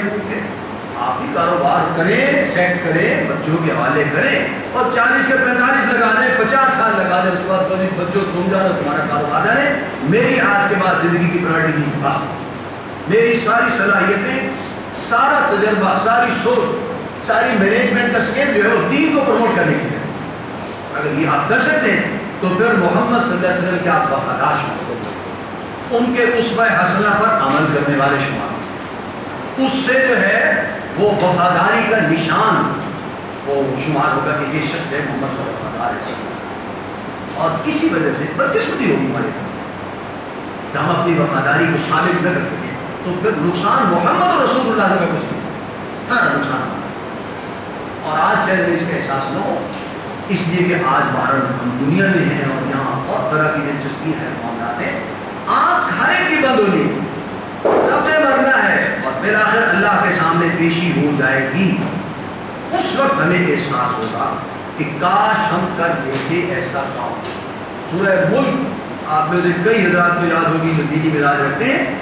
اس میں کہا گیا ہے کہ قیامت کے دن کچھ لوگ ایسے ہوں گے کہ جو سزا کے مستحق قرار پائیں گے۔ ان کو لے جایا جائے گا اور ان کو جہنم کے دروازے تک پہنچا دیا جائے گا۔ مثال ہے سمجھانے کے لیے۔ کہ ایسے ہوگا وہاں آج سوچ لو کوئی وہ یہ تمہاری مثال نہ ہو۔ جہنم کے داروں میں کہیں گے کہ بد نصیبوں تم یہاں آ گئے؟ تمہیں ساری زندگی کو سمجھانے والا نہیں ملا؟ کوئی بتاتا کہ محمد کے طریقے پر عمل کرنا چاہیے سرکار سے قرآن پر عمل کرنا چاہیے؟ ساری زندگی گزر گئی، کوئی نہیں سمجھانے والا۔ وہ کہیں گے کالو بلا، وہ کہیں گے جی ہم آئے تو تھے ہم نے کیا کہا؟ ہم نے ان کی بات سنی ہی نہیں۔ ہم نے ان کو کہا کہ آپ جھوٹ بول رہے ہیں۔ ہم نے کہا کہ ماں اللہ ماں اندر الرحمن ان سے اللہ کی کوئی چیز نہیں کہا ایسے ہی آپ کہہ رہے ہیں جی یہ شریعت ہے اور یہ کام کرنا چاہیے، یہ حلال ہے۔ یہ کچھ نہیں، جاؤ۔ اور ساتھ یہ بھی الفاظ ہے لو کننا نسماؤ اور نہ گرو کیا من کے لیے ڈائلاگ ہوگا کاش ہم دنیا میں جو سمجھانے والے آئے تھے، ان کی بات سن ہی لیتے، ہم نے تو سنی توجہ۔ نہیں اور ناکلو یا عقل سے کام لیتے اس کو کوئی انالیسس کرتے اس کو سوچنے کے بعد ایسے ہے ایسے ہے بدلتی مطلب تو معقول ہے۔ بڑی لوجک ہے اس میں، بڑی بات ہے لہٰذا وہ کرنا چاہیے۔ لو کننا نسما اور ناکل ما کننا فی اصحاب سے آج ہم یہاں نہ پڑھیں یہ جواب جو وہاں ہونا ہے، کس کس کا ہو رہا ہے تو اللہ بہتر جانتا ہے۔ لیکن آج سوچ لینا چاہیے کہ ہم بھی ان لوگوں میں سے تیسرا تقاضا دین کا یہ ہے کہ ہم اللہ کے دین کو غالب کرنے کی جدوجہد آپ نے ماحول میں دیکھے کون ایسے لوگ ہیں جو دین کو غالب کرنے کی جدوجہد کر رہے ہیں ان کو تلاش کریں ان کے ساتھ شامل آج ہمارے پاس چوائس موجود ہے۔ جب تک دنیا میں پیغمبر آتے تھے علیہ السلام اس وقت تک لوگوں کے پاس چوائس نہیں ہوتا۔ محمد صلی اللہ علیہ وسلم جب دنیا میں تھے جو آپ کے ساتھ ہے وہ حق پر ہے سو فیصد حق پر ہے۔ جو دوسری پارٹی میں ہے وہ سو فیصد گمراہ۔ درمیان میں کوئی شکل نہیں؟ آج ہمارے پاس چوائس ہے۔ ختم نبوت کا یہ ختم نبوت کو رحمت قرار دیا گیا اور رحمت یہی ہے کہ آج چوائس موجود ہے۔ قرآن و سنت سے یہ طریقہ بھی صحیح ہے، یہ بھی ہو رہا ہے، کام یہ بھی ہو رہا ہے۔ ان میں سے چوائس ہے، آپ جس میں شامل ہو جائیں۔ گے لیکن کام ہونا چاہیے۔ یہ تیسرا ہے۔ اب چند جملوں میں میں چاہتا ہوں کہ یہ جو تین تقاضے ہیں دین کے ان کے راستے میں کچھ رکاوٹیں آ جائیں۔ تو وہ رکاوٹیں میں آپ کو گنوا دینا چاہتا ہوں۔ تاکہ آپ کو احساس ہو جائے کہ جب ہم اس راستے پر چلیں گے تو اس میں یہ یہ ہرڈلز آنی پہلے سے بتاؤ۔ اور ان ہرڈلز کو پھر ہمیں اوور کم کرنا ہے۔ یہ نہیں ہے کہ گھبرا جائیں گے وہ یہ تو بڑا مسئلہ ہوگا جب آدمی طے کرے گا کہ مجھے اپنی ذات میں اللہ کا بندہ بننا ہے، ٹھیک ہے، طے کر اچھی بات لکھ کے رکھ لیں اپنے کاپی میں، کتاب میں کہیں، لکھ کے اپنے ڈرائنگ روم میں لگا دیں، خوبصورت فریم کرا کے لیکن جب آپ یہ طے کر لیں گے تو تین طرح کی مخالفتیں۔ نمبر ایک نمبر ایک، مخالفت انسان کے اپنے باطن سے ہوگی۔ انسان کا اندر ایک نفس ہے، سائیکی ہے، اور آدمی پارا جو بھی کوئی انر کور ہے انسان کی نفسیات کا، اس میں انسان آزادی پسند۔ مجھے جو میں کرنا چاہوں مجھے کوئی نہیں چاہیے وہ تو ہم صرف اس لیے ضابطے وابطے بناتے ہیں نا کہ بھائی آخر آپ کی نفسیات ہے تو میری بھی ہے اس کی بھی ہو سکتی ورنہ ہر نوجوان کا دل کرتا ہے کہ سڑک کے این درمیان میں وہ موٹر سائیکل چلا کے جا رہا اور کوئی اس کو ٹوکے نہیں۔ بھائی آپ کی نفسیات ہے تو ادھر سے بھی وہ آ سکتا ہے۔ یا آپ کی طرح کا نوجوان ہو سکتا ہے۔ لہٰذا اصول ہے کہ بھائی لیفٹ سائڈ پہ چلیں اپنی لین میں چلیں۔ دوسری لین میں جانا ہو تو تو بھائی ضابطے ہیں، اس کو فائدے کے لیے بنائیں ورنہ انسان مساجن ہے، وہ آزادی پسند اور جب آپ دین پر چلیں گے تو نماز کے لیے اٹھنا ہوگا۔ کہ روزے رکھنے ہیں، دین پر چلنا ہے، یہ کرنا ہے، یہ پابندی اندر سے ایک مخالفت ہوتی ہے جو چھوڑو، روز تو کرتے ہیں، آج نہیں کیا چکا نفس ہے انسان۔ اس نفس کی مخالفت کرنا، اگر آپ مخلص ہے دین پر چلنے کے لیے، تو اس نفس کے خلاف آپ کو ایک اپنے آپ کو ایکسرٹ کریں اس کو مجاہدہ کہتے ہیں تصوف سارا اسی پر ہے۔ مجاہدات نفس کہلاتے ہیں جو تصوف میں ریاستیں اور مشقتیں کرائی جاتی ہیں۔ نفس آدمی کو غلط مشورہ دیتا ہے۔ لہٰذا اس نفس کی مخالفت کسی نہ کسی درجے میں ہر چیز میں مخالفت نہیں۔ وہ دنیا میں عیسائیت اور وہ تو وہاں تک چلے گئے کہ اپنے نہ اچھا کھاؤ، نہ اچھا پہنو، نہ یہ کرو، نہ وہ نہیں مانے لیکن اللہ کے احکام میں باہر جو رکاوٹ آ رہی ہو تو وہاں نفس کا کہنا نہیں مانا اور یہ معاملہ ہر انسان کو پیش آتا ہے۔ فجر کی اذان ہوتی ہے اور ہر آدمی جو نماز کا جس نے فیصلہ کیا ہوا ہے کہ میں نے نماز پڑھنی ہے، اس کی آنکھ کھل جاتی ہے۔ اور پھر ایک کشمکش ہوتی ہے انسان کے اندر کشمکش۔ ایک خیال آتا ہے، اٹھ جاؤ۔ ایک خیال آتا ہے، نہیں، سو جاؤ۔ دو منٹ بعد خیال آتا ہے، اٹھ جاؤ۔ پھر خیال اندر ایک آتا ہے کہ دوسرے کارنر سے خیال آتا ہے، لیٹ جاؤ۔ بس اس وقت اگر آپ نے کوشش کر کے وہ جو نیکی کا جذبہ ہے، اس کو اس کا ساتھ دے کے اور اٹھ کے چلے گئے کامیاب اور آپ نے ذرا سی نیند دکھائی اور وہ ذرا لیٹ گئے تو وہ پھر سورج نکلنے کے بعد آپ یہ سب سے پہلا مخالف ہے انسان کا نفس۔ دوسرا مخالف جس سے مخالفت پیش صاحب کا پیش آتا ہے ہر انسان کو، وہ ہے شیطان۔ ایک شیطان وہ بڑا شیطان ہے جو آدم کے دور میں تھا، علیہ السلام۔ جس نے جنوں اور انسانوں حضرت آدم کو سجدہ کر دیا تھا۔ اور ابلیس نے سجدہ نہیں کیا۔ اللہ نے اس سے پوچھا تھا کہ میں نے خود تمہیں حکم دیا ہے۔ انہوں نے میرا کہنا کیوں نہیں مانا؟ اس نے غلطی تسلیم کرنے کی بجائے کو سوری غلطی ہوئی تھی آئندہ نہیں کریں گے معاف کر یہ نہیں کہا۔ اس نے الٹا اللہ کے حکم کو چیلنج کر دیا کہ حکم ہی صحیح نہیں۔ یہ شیطنت ہے انگلش ہے۔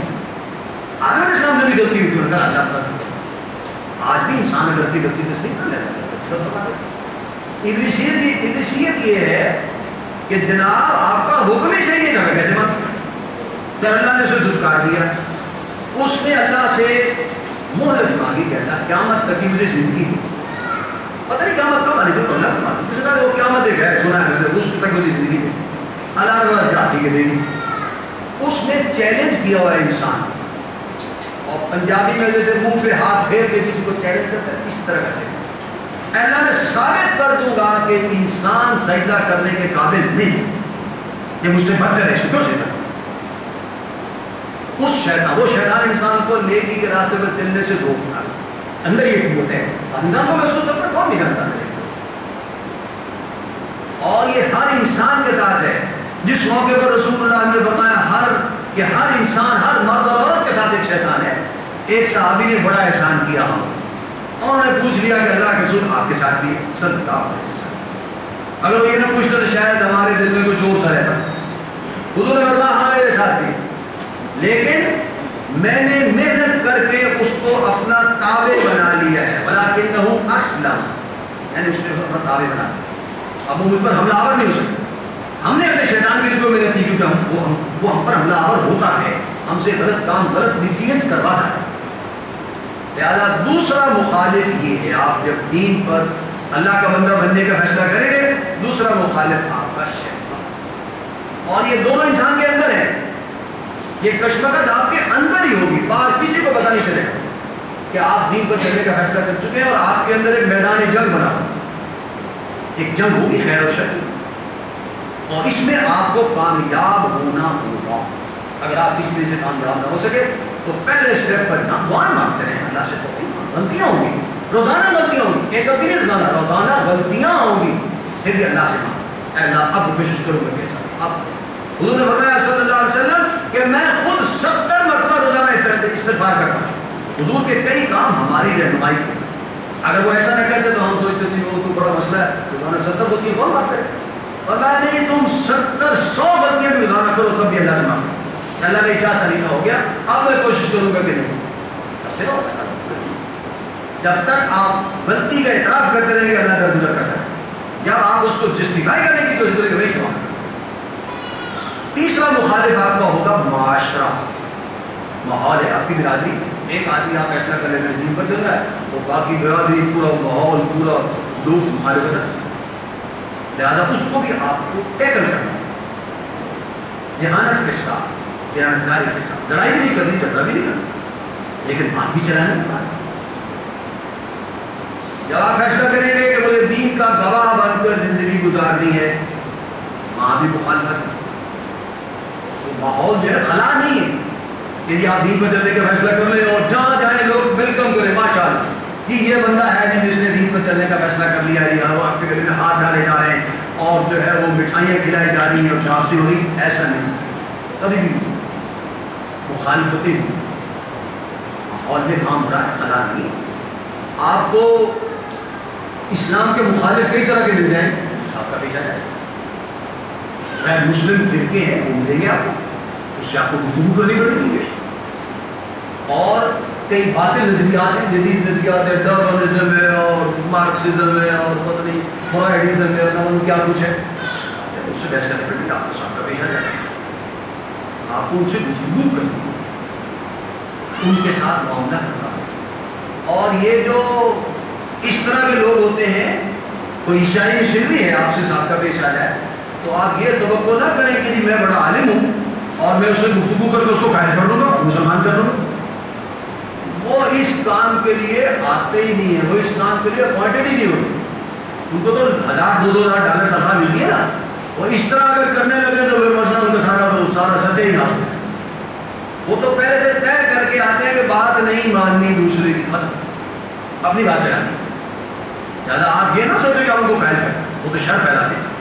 لوگوں کے دلوں میں شکو کو شبات پیدا کر کے چلے جائیں لہٰذا آپ کو عقل مندی کے ساتھ یہ ماحول مطلب اپنے ایمان بچانے کے لیے، اپنے ساتھیوں کا ایمان بچانے اور سب سے بڑی مخالفت جو ہوتی ہے اگر آپ دین پر چلنے کا فیصلہ کر لیں، بد عملی کے ہم مسلمان ہیں۔ ایک ریڑھی والا ہے ایک دوسرا ہے، کاشتکار ہے، کسان ہے، مزدور ہے۔ کبھی نماز نہیں پڑھتا، کوئی روزہ نہیں رکھتا۔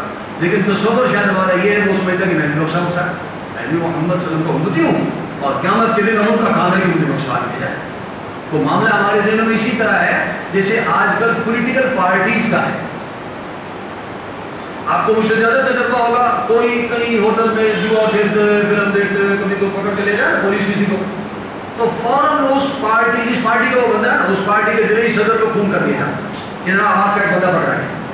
اب وہ اس کی عزت کا مسئلہ ہوتا ہے کہ تمہاری موجودگی میں تمہاری پارٹی کے تعلق یہ چلا جائے بڑا چلے وہ جاتا ہے جناب، وہ حوالہ کھولتا ہے اور جناب، یوں بندہ اپنا چھڑا لوگوں کا تصور یہ ہے کہ میں مسلمان ہوں۔ اور محمد الرسول اللہ صلی اللہ علیہ وسلم کا امتی ہوں. قیامت کے دن اگر میں پکڑا جاؤں گا تو یہ محمد صلی اللہ علیہ وسلم کی عزت کا مسئلہ ہوگا کہ مجھے چھڑا شاید کسی کا تصور ہو سکتا ہے، لیکن یہ دین، قرآن اور دین کی بات ہے. ہمیں اس بدعملی کے خلاف بھی لوگوں کو قائم کرنا ایک غیر مسلم کو مسلمان آسانی سے کیا جا سکتا لیکن ایک بے مسلمان کو قائل کرنا کہ نماز پڑھو. وہ کہتا ہے میں تو پہلے جنت میں جانا نماز کو اس کو قائل کرنا ہوگا کہ نہیں بھائی، عمل سے زندگی بنتی ہے، جنت بھی، جہنم بھی، یہ خاکی اپنی فطرت میں نہ نوری ہے، نہ ناری ہے۔ بے عمل سے کچھ نہیں بنتا۔ کام کرنا پڑے گا۔ یہ سمجھانا اس میں واقعی مشکل اور تیسرے درجے میں جب آپ فیصلہ کریں گے کہ مجھے اللہ کے دین کو غالب کر کے دکھانے کی وجود بھی کرنی ہے، پھر مخالف پھر ایک مراحت یافتہ طبقہ ہے، پھر جو بھی موجودہ سیٹ اپ ہوتا ہے، پہلے سے سیٹ اپ ہے محمد صلی اللہ علیہ وسلم جب تشریف لائے ایک سیٹ اپ تھا، ایک نظام تھا۔ عہدے تھے مراحت تھی پہلے وہ مخالف ہے اسٹیٹس کو رہنا چاہیے چینج نہیں ہونا چاہیے۔ آج بھی جتنے لوگ کریں گے تو جو مراحت یافتہ طبقہ ہے، وہ نہیں چاہے گا کہ دین آ جائے۔ لہذا ایم کے بھی قرآن و حدیث کے ساتھ، دلائل کے ساتھ کے ساتھ اپنی عقل استعمال کرتے ہوئے حکمت استعمال کرتے ہوئے لوگوں کو قائل کر کے اپنی بات کو آگے بڑھاتے رہنا۔ لڑکے اور معاملہ جو ہے، وہ گڑبڑ کر دینا وہ کوئی مندی نہیں کہ جی راستہ ہو گیا ختم خاندانی کو چل سکتے راستہ کھلا رکھنا اور راستے کو کام کو مشن کو آگے بڑھاتے رہنا یہ عقل ہے اس میں ایک بات صرف آخری اور میں کہہ کے اپنی بات ختم کر رہا ہوں کہ ہمارے دین کے جو تقاضے ہیں آج ہم زندہ ہیں جس ماحول میں رہتے ہیں کچھ تقاضے ہیں میں نے آپ کے سامنے رکھے ہیں ہمارے دین کے تقاضے جو ہیں وہ خارجی حالات پر منحصر ہیں عام حالات میں دیکھیں تو جیسے موسم ہوتے ہیں، کسان بھی موسم کا لحاظ رکھتا ہے۔ اب یہ موسم ہے، اس میں یہ فصل لگانی چاہیے۔ اب یہ موسم ہے، گندم ہر موسم میں نہیں لگائی جا سکتی۔ یعنی وہ لگا دو تو ہو جائے نہیں ہو ریڑھی والا بھی دیکھتا ہے کہ اب مجھے کیا لگانا چاہیے۔ سردی آ گئی ہے اور چیز لگا رہا ہے۔ گرمی آ جاتی ہے اور چیز لگا اسی طرح ہمارے دین کے تقاضے بھی ہیں۔ دو تو بڑے واضح حالات۔ ایک تقاضا ہے، ایک قسم کے خارجی حالات ہیں کہ کوئی نوجوان حضرت عمر کے دور میں پیدا ہوا، رضی اللہ تعالیٰ دین غالب اللہ کے دین پر ہے کوئی خلافت یہی عدل ہے، انصاف ہے، کوئی بھوکا نہیں سوتا، کسی پر ظلم نہیں، کسی پر زیادتی نہیں۔ ہر ایک کا جو ہے وہ کفالت کا نظام ہے۔ جہاد ہو رہا ہے، جتنا تقاضا آتا ہے، وہ بندے چلے جاتے ہیں۔ اب ایک نوجوان کھاتے پیتے، باپ کا کھاتے پیتے، گھر کا فرد نوجوان ہے، وہ کیا کرے؟ تبلیغ کے لیے کہیں دور جانا پڑے گا۔ غیر مسلموں کے پاس یا کہیں کسی وہ مسجد جائے اور فجر پڑھنے جائے اور اشراق پڑھ کے آئے۔ ٹھیک ہے کچھ کہا نہیں۔ اثر پڑھنے جائے تو بیٹھا رہے، کوئی بات ہوا، وہ سنے، مغرب کے بعد پھر پڑھے، پھر بیٹھا رہے، پھر عشاء پھر کو بات ہو پھر سن کے کھڑا ہے تو کام کرتے ہیں یہ اور طرح کے تقاضے۔ یہ سارے ہمارے یہاں جو سلسلے چل رہے ہیں، یہ سارے اسی دور کے ہیں جب اسلام غالب کا کہ یہ عوام آدمی کی تقاضے نہیں کرو یہ یعنی جبکہ دوسری قسم کا ماحول وہ ہے کہ جب محمد الرسول اللہ صلی اللہ علیہ وسلم کا دور تھا، آپ مکے میں تھے اس سے زیادہ مدینے میں تھے ابتدائی دور ہے، اللہ کا دین مغلوب ہے۔ لہذا اپنی ساری توانائیاں، سارا وقت، سارا سرمایہ، ساری قوت اللہ کے دین کو غالب کریں گے۔ اگر ٹرینڈز اور ہو جائیں اگر وہ جو ہے وہ ڈرین ہونا شروع ہو جائے، سرمایہ بھی اور محنت بھی اور قوتیں بھی، تو پھر وہ دین کے لیے کہاں سے لگتا ہے؟ آرابی زور دروازہ نکالے۔ رسول اللہ صلی اللہ علیہ وسلم کے دور میں ایک واقعہ پیش آیا آپ کو سناتا ہوں۔ مدینہ چھوٹا سا شہر تھا اس وقت انہوں نے آج کل کی مسجد نبی دیکھی ہے، وہ مسجد نبی جو ہے وہ اس دور کے مدینے کے برابر ہی ہے سارا ہی اس میں آ گیا ہے، حضور صلی اللہ علیہ وسلم رسول اللہ صلی اللہ علیہ وسلم ایک دفعہ چند صحابہ کے ساتھ ایک گلی میں سے گزر رہے ہیں پہلے بھی گزرتے ہو اس دن گزرے تو کسی نے چوبارہ بنا دیا کمرے کے اوپر ایک اور کمرہ رسول اللہ نے پوچھا کہ یہ کس کا گھر ہے؟ صحابہ نے بتا انداز ذرا تھا، بس ذرا کہ تنقیدی انداز جیسے انہوں نے بتا دیا، کچھ کچھ بھی انہوں نے تبصرہ نہیں کیا صلی اللہ علیہ چلے گئے، جہاں جا رہے تھے، واپس آئے۔ اب صحاب اس صحابی کو بتانے والے نے بتا دیا کہ آج ہم ادھر سے گزرے تھے اور تم کہیں کام گئے ہوئے تھے اور اللہ کے رسول نے یہ پوچھا تھا اور ہم نے یہ بتا دیا اب دیکھیے صحابہ کرام کا جو قرضے ہمارے ان کی جو شخصیات ہیں ہماری طرح نہیں ہم نمبر میں آتے ہیں، جس کو کہتے ہیں، آج کس طرح۔ اس نے کوئی نمبر نہیں بنایا صاحب وہ گھر گیا اور چبارہ گرا اور حضور سے تذکرہ بھی نہیں کیا، صلی اللہ علیہ وسلم۔ کسی کو نہیں بتایا۔ اور نہ بھی بتا دیا۔ وہ نمبر بنانے لگا رسول اللہ صلی اللہ علیہ وسلم پھر کئی مہینے بعد پھر ادھر سے گزرے۔ ہیں تو صحابہ سے پوچھا کہ یہاں پہ چوبارہ تھا۔ نہیں وہ تو اس صاحب نے اسی دن گرا۔ یہ چوبارہ بنانا کیوں اچھا نہیں تھا؟ کیوں ناپسندیدہ تھا؟ اور کیوں گرا دیا گیا؟ کہ اسی وجہ سے اسلام مغلوب ہے۔ ایک ایک پیسہ اور ایک ایک قطرہ خون کا اور وقت کا ایک ایک سیکنڈ اللہ کے لیے رکھتے ہیں۔ اگر یہ پرائرٹی ہماری آج موسم آپ خود سوچ سکتے ہیں۔ کوئی آدمی یہ سوچ سکتا ہے کہ آج حضرت عمر کا دور ہے رضی اللہ تعالیٰ اور آدمی کو آزادی ہے، میں اس کو ڈکٹیٹ نہیں کر سکتا۔ کوئی کہہ رہا حضرت عمر کا دور ہے، دین غالب ہے۔ اللہ اللہ کرو، یہ دین کا تقاضا ہے۔ اس سے گفتگو تو ہو سکتی ہے، وہ الگ فورم ہوگا، لیکن اس کو حق حاصل نہیں کہتے لیکن اگر آدمی یہ سوچے کہ آج بھی غالب ہے۔ اور میں نہیں سمجھتا کہ کوئی آدمی بقائد بقائمی ہوش و حواس یہ فیصلہ کرے اور رائے رکھے کہ دین غالب آ جائے لہٰذا آج کے دور میں تقاضے وہ ہوگی جو محمد رسول اللہ کے دور میں تھے جو مدنی دور کی کہ دین مغلوب ہے اور پہلے اس کو غالب کرنے کے لیے اپنی ساری طاقت اور ساری توانائیاں سارا سرمایہ کرنے ہاں جب غالب ہو جائے گا تو ہونا ہے۔ اللہ کے رسول نے فرمایا سے ایک حدیث میں الفاظ ہے رسول اللہ صلی اللہ علیہ وسلم نے فرمایا دنیا میں کوئی گھر اور کوئی خیمہ ایسا نہیں رہے گا جس میں اللہ کا دین داخل نہ ہو جائے۔ ٹوکیو سے لے کے اور واشنگٹن تک ہر گھر میں اسلام داخل۔ وہ دور آنے والا پہلے وائسرائے بن کے آتے تھے یورپ سے یہاں۔ وہ وقت آنے والا ہے۔ چند اشروں کی بات ہے۔ یہاں سے وائسرائے بن کے جائیں گے۔ امریکہ اور کینیڈا۔ وہ دور آنے والا ہے حضور کے حدیث کا یہی مطلب ہے۔ جب اس وقت وہ وقت آئے گا دین غالب ہو جائے گا، تقاضے پھر آپ اللہ اللہ جتنی مرضی کریں۔ اس لیے کہ اس وقت تقاضا تقاضی آسان ہو گئے۔ وہ تو عمر کے دور کی طرح کے تقاضے۔ تو حضرات، آج کے موضوع سے متعلق میں نے جو میرے ذہن میں تھا، وہ باتیں میں نے آپ کے سامنے رکھی ہیں۔ اور میری دعا ہے کہ اللہ تعالیٰ یہ باتیں آپ کے دل پر پتھر کی لکیر بنا لیں۔ اور خدا نہ خاص کر میری زبان سے اگر کوئی غلط بات نکل گئی ہو تو اللہ تعالیٰ اس کو آپ کے حافظے سے بھی میں اور مجھے بھی معاف اللہ تعالیٰ سے دعا ہے کہ اللہ تعالیٰ ان باتوں کو یاد رکھ لیں ان پر عمل کر لیں ان کو جیسے جان بنا لیں اور جیسے تین تقاضے میں نے بتائے ہیں دین کا گواہ بن کے کھڑے۔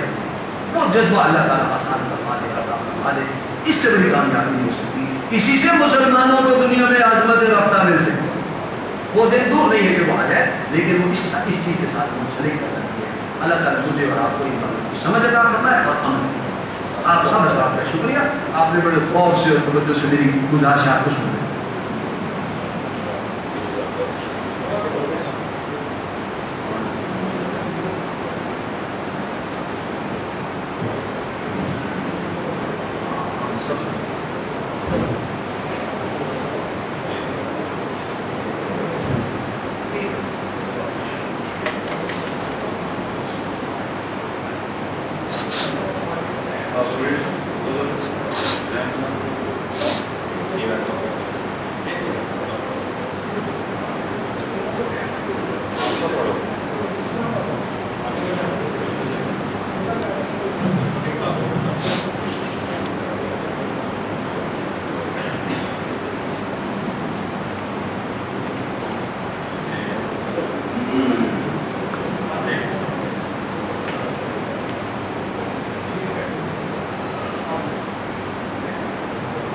یہ تھے جی انجینئر مختار فاروقی صاحب جو جھنگ سے آئے تھے ہم سب کو بات سمجھانے کے لیے کہ ہمیں دین سیکھنے کے ساتھ ساتھ عمل بھی کرنا ہے اور اب میں تھوڑی سی ترتیب آپ کو بتا دوں اس کے بعد صدارتی کلمات کے لیے آئیں گے آفتاب قاضی صاحب اس کے بعد ہم نے سیشن رکھا ہے جی سوال جواب کا اگر کچھ دوست سوال جواب کرنا چاہتے ہیں وہ اپنے ذہن میں بنا لیں لکھ لیں اگر لکھ سکتے ہیں تو اس اشارہ کر دیجیے گا بعد میں ہمارا آدمی آپ کا مائک لے کے آ جائے گا تو آپ اگر سوال جواب کرنا چاہیں تو وہ کر سکتے ہیں سوال اب میں دعوت دوں گا صدارتی کلمات کے لیے آفتاب قاضی صاحب جو کہ چیف ایگزیکٹو ہیں سائمن اسپورٹ جناب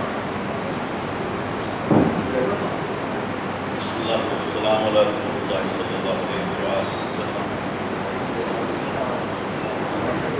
قال رب اشرح لي صدري ويسر لي أمري صدق الله العظيم محمد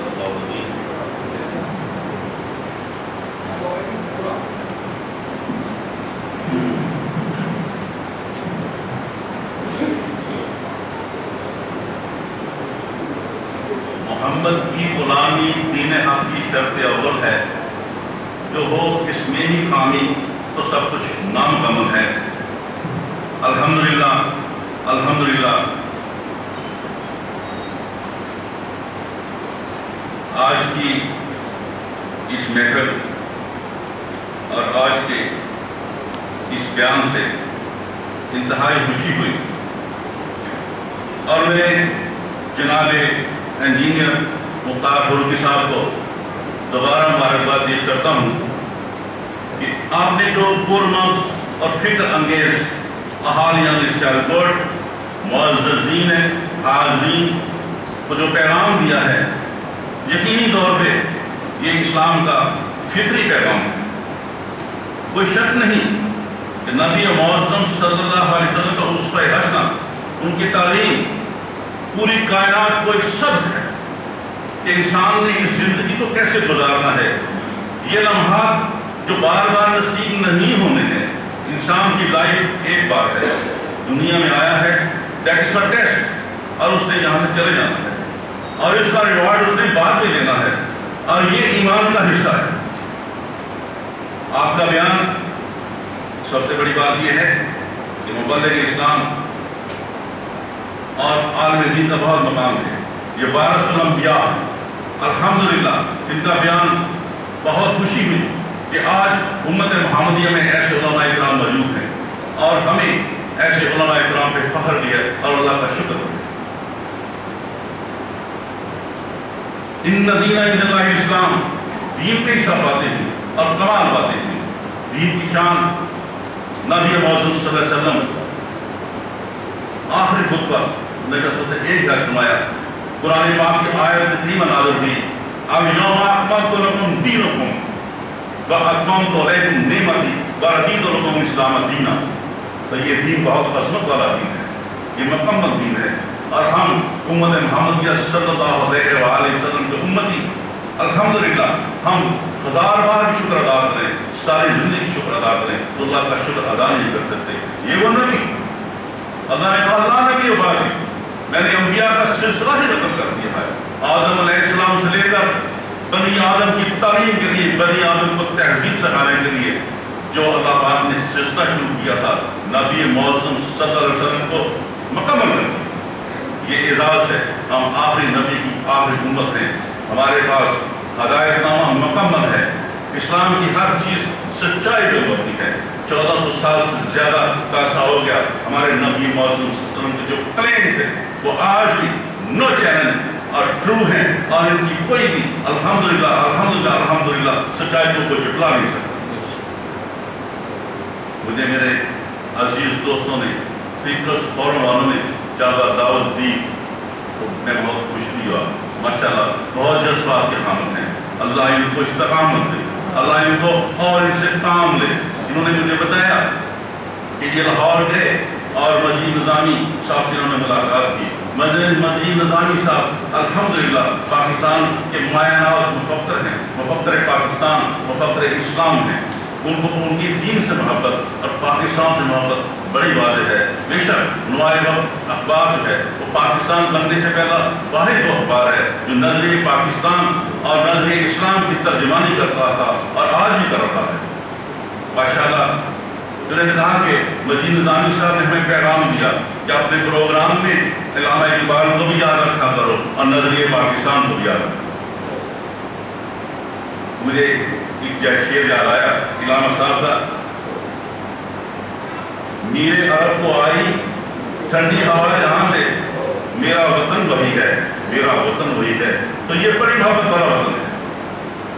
ستائیس کی رمضان مبارک کو کائنات میں عرض کائنات میں وجود میں آنے والا یہ ملک بہت عظیم ملک ہے۔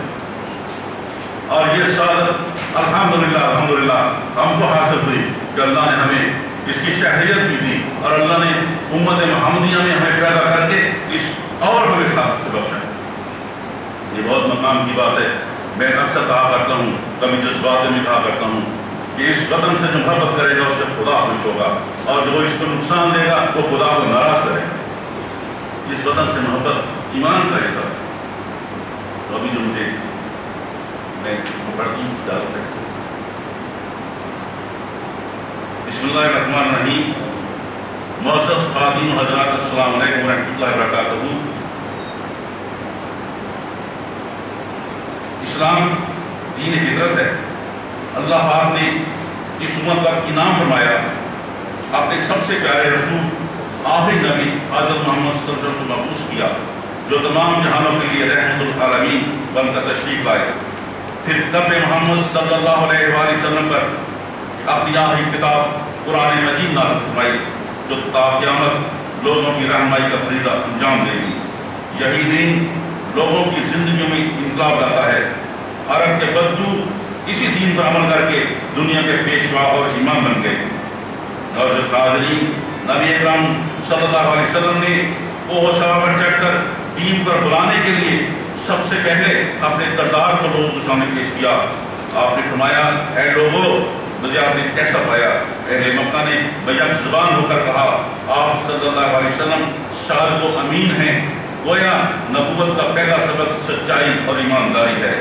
آج ہمارے معاشرے میں جو بگاڑ پیدا ہو گیا ہے، اس کی بنیاد، بنیادی وجہ دین حق کے زرعی اصول سچائی اور ایمانداری کو ہم نے چھوڑ دیا ہے۔ نبی اکرم صلی اللہ علیہ وسلم فرمایا کہ منافق کی نشانی میں سے یہ بھی ایک ہے کہ وہ جب بولے گا، جھوٹ بولے گا، اور جب کسی کے پاس، اس کے پاس کوئی ایمان رکھی جائے گی، تو اس میں خیانت کرے گا۔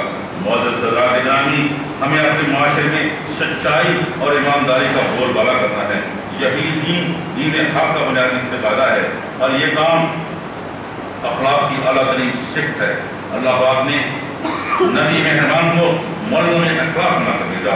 آپ صلی اللہ علیہ وسلم کے بلند اخلاق کی وجہ سے آپ صلی اللہ علیہ وسلم کے دوست اور سبھی دشمن آپ صلی اللہ علیہ وسلم کے گرویدہ تھے آپ کو تو وہ واقعہ یاد ہوگا کہ نبی مہمان صلی اللہ علیہ وآلہ وسلم پر ایک عورت اپنے گھر کا کوڑا پھینکتی تھی۔ ایک دن جب اس نے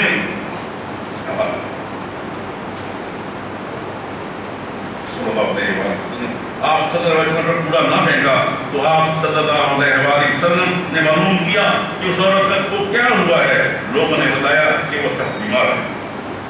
آپ صلی اللہ علیہ وسلم اس کی اجازت کے لیے اس کے گھر تشریف لے گئے۔ وہ عورت آپ صلی اللہ علیہ وسلم کے حسن کا سے متاثر ہوئی اور اس نے کلمہ حق پڑھ لیا اور اسلام کو قبول کر لیا۔ بہت خاتین و حضرات برسی پاک و ہند میں بھی دین حق مسلمان تاجروں صوفیہ کے قریب پہنچا۔ مسلمان تاجروں کی ایمانداری اور سچائی سے متاثر ہو کر لوگوں نے اسلام قبول کر دیا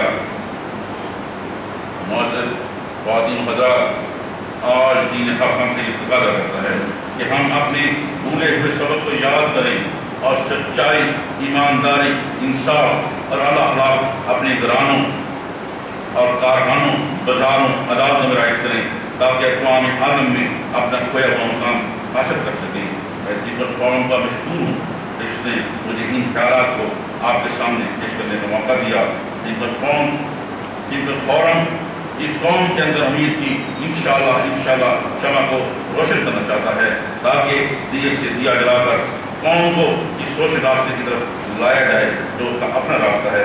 لیکن یہ کام عمل سے ہوگا، جو قومیں اپنے عمل سے اخلاق کو مزین کرتی ہیں، وہی اقوام عالم کی رہنمائی کرتی ہیں۔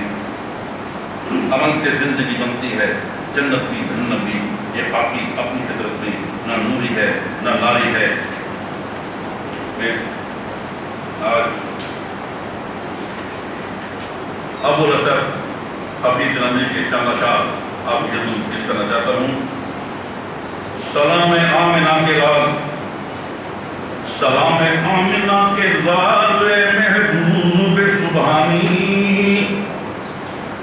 سلام فخر موجودات فخر نو انسانی تیرے آنے سے رونق آ گئی گلزار ہستی میں۔ شریک حال قسمت ہو گیا پھر فضل ربانی۔ زمانہ منتظر ہے اب نہیں نہیں شراز بندی کا۔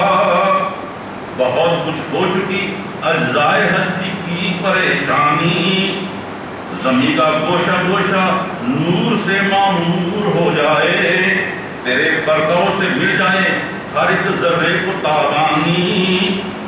سلام ہے صاحب ملک عظیم، انسان کو سکھلا دے۔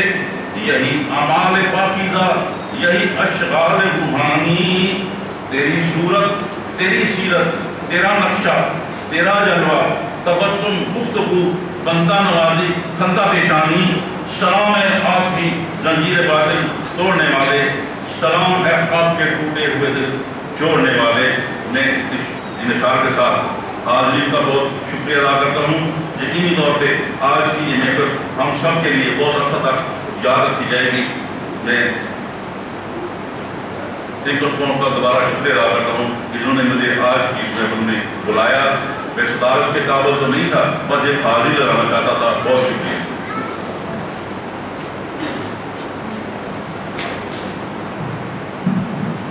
یہ تھے جناب آفتاب قاضی صاحب اب ہم سوال و جواب کے سلسلے میں اگر کوئی صاحب سوال کرنا چاہتے ہیں تو بتا دیں۔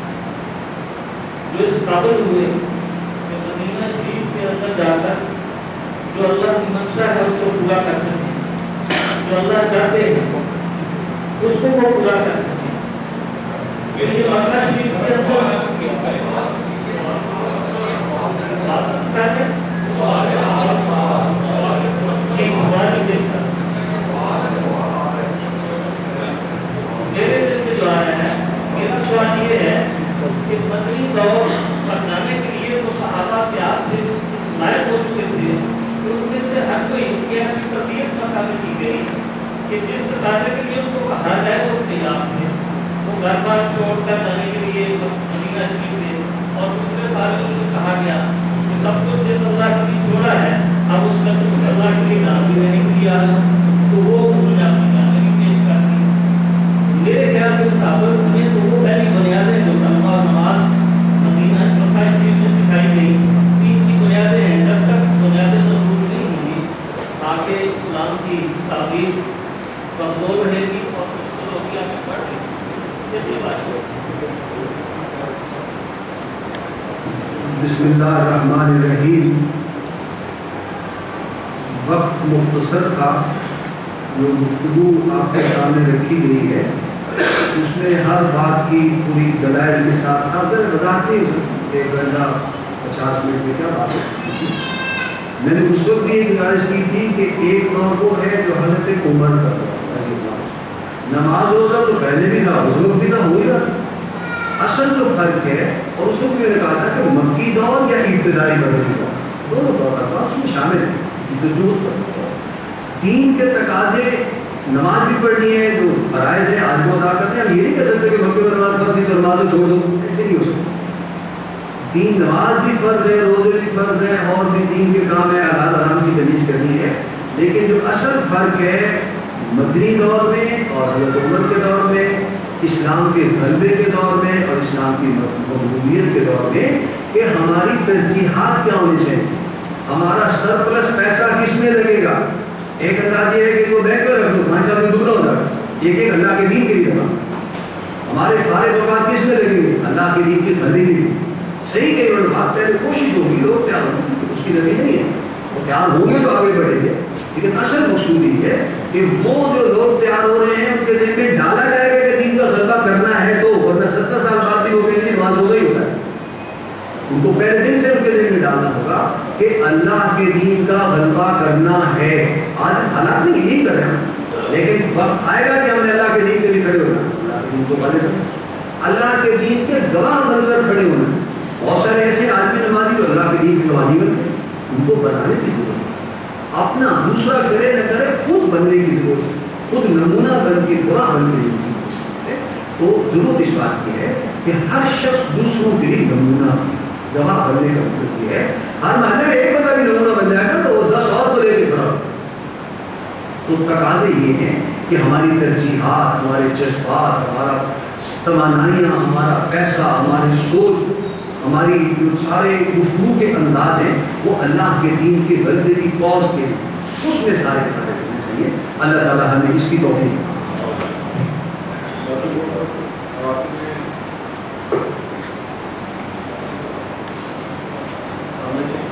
آپ نے عمر کی وجہ کی ہے کہ چالیس پینتالیس سال کے بعد چالیس پینتالیس سال تک اپنا کاروبار کریں اور اس کے بعد ان کی خدمت دیتے ہیں کیا یہ روحانی نتیجہ ہے میں دیکھوں کوئی مجھے تو کیا ہوتی تو پتا تھا کہ انہوں نے ٹائم لائف کی وجہ سے کی ہے کہ پچیس سال اس عمر کے لیے پچیس سال کاروبار کے اور پچیس سال اپنے دین کے لیے تو آپ ذرا اس کی بات کریں چالیس سال زندگی کے ساتھ آگے آواز بھی آئی آپ خود رہتے وہ جو چالیس سال والی مثال اس کی بات کر رہے ہیں ٹھیک میں بتا کسی کا دیکھو ہمارا دین ہمیں یہ سکھاتا ہے کہ ہر شخص کو محنت کرنی ہے کمانا ہے کھانا ہے ہمارا دین محمد رسول اللہ میں اترا اور جو لوگ محمد صلی اللہ علیہ وسلم کی محنت سے تیار ہوئے وہ صحابہ کرام اور ان صحابہ کرام کی زندگیاں ہمارے لیے نمونہ ہیں۔ ان دس صحابہ ان صحابہ کرام میں سے دس صحابی ایسے ہیں جو اشرہ مبشرہ کہلاتے ہیں۔ ان کو رسول اللہ صلی اللہ علیہ وسلم نے دنیا میں جنت کی بشارت دی ہے۔ میں نہیں سمجھتا کہ آپ بھی کسی کو گارنٹی دے سکتے ہیں کہ آپ آج کے بعد جو کریں گے، ٹھیک کریں گے۔ بات۔ کسی کی گارنٹی دینا بہت مشکل ہے۔ آج آپ ہیں جس کیفیت میں باقی زندگی آپ کو غلط کام نہیں کریں۔ اللہ کے رسول صلی اللہ علیہ وسلم نے اللہ کے کہنے پر وہ گارنٹی دی اور وہ تربیت کر دی تھا محمد سے ان دس صحابہ کے شاید نام بھی آپ میں سے کم لوگوں کے آتے ہوں گے، لیکن ان میں بھی کوئی گوشہ رشید بزرگ نہیں۔ حضرت ابو بکر حاکم میں وقت ہیں، حضرت عمر حاکم میں وقت ہے حضرت عثمان حاکم میں وقت ہے حضرت علی حاکم میں وقت ہے حضرت طلحہ سپہ سالار ہیں، حضرت زبیر کا سپہ سالار ہیں، حضرت عبد الرحمن بن عوف بہت بڑے تاجر ہیں سپہ سالار ہیں۔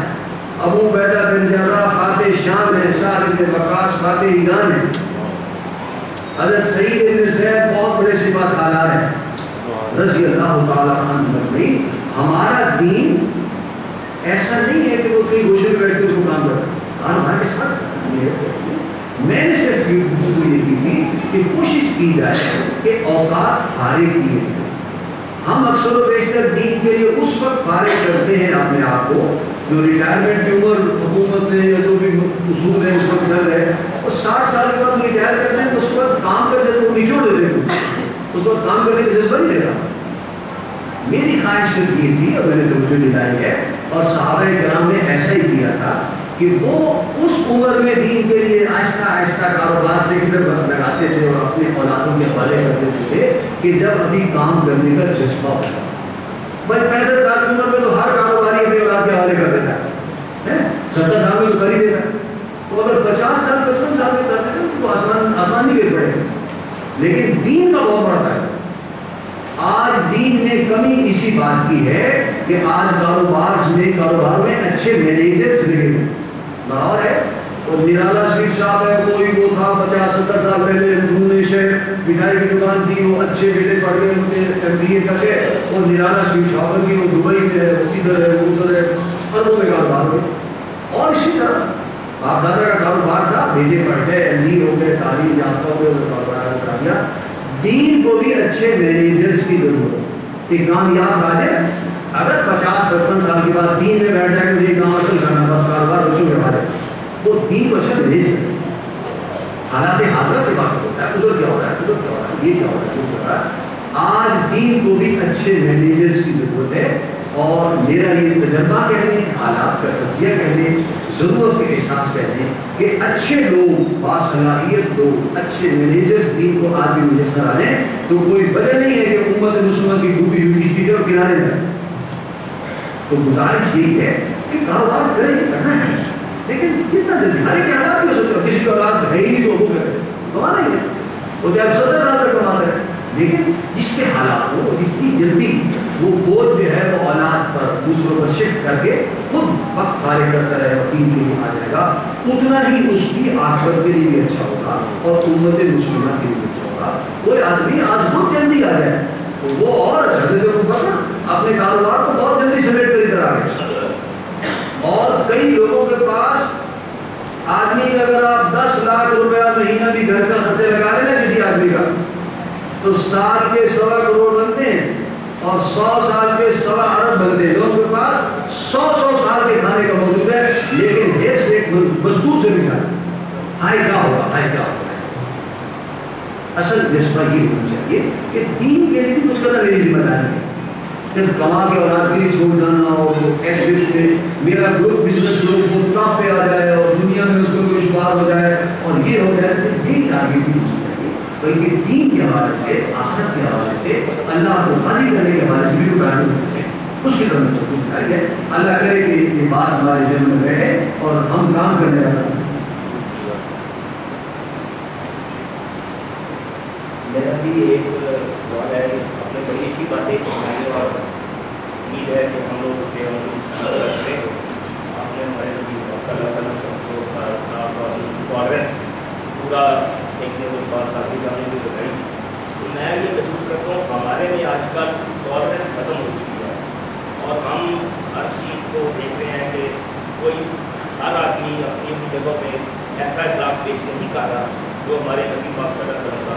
تو ہمیں کیسے ہی کرنا چاہیے میرا سوال ٹھیک ہے بہت اچھا سوال ہے، میں نے اس کی طرف اشارہ بھی کی اشارہ تو کیا اپنی گفتگو میں ٹالرنس واقعی ہونی چاہیے۔ اور آدمی کو اختلاف برداشت کرنا چاہیے۔ اور یہ تو وہی میں نے گزارش کی ہے کہ آج کئی کام ہو رہے ہیں۔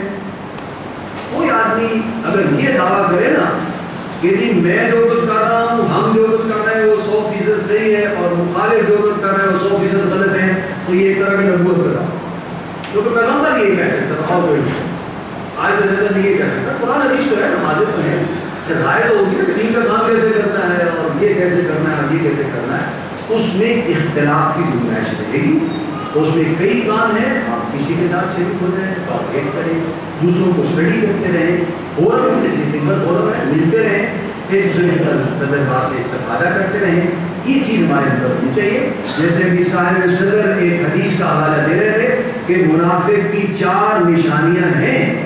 آپ نے بھی پہلے سنی ہوگی، حضور صلی اللہ علیہ وسلم نے فرمایا، جس میں وہ چاروں نشانیاں ہیں کام منافق خالص وہ کٹر منافق اس میں سے جھوٹ بولنا اور بدیانتی کرنا اور وعدہ خلافی کرنا تو ہے ہی ہے۔ چوتھی یہی ہے کہ اختلاف برداشت نہیں کرتا ایزا خاص ہونا فجرا جب کسی سے اختلاف ہو جاتا ہے تو گانے گروز پر آ جاتا ہے۔ اس پر بھی ہمیں نفاق سے بچنے کی ضرورت ہے۔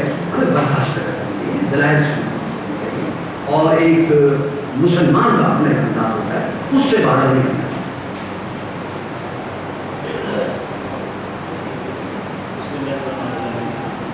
کے سے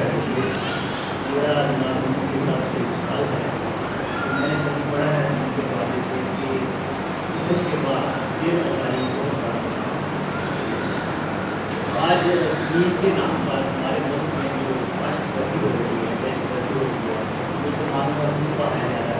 اس کے متعلق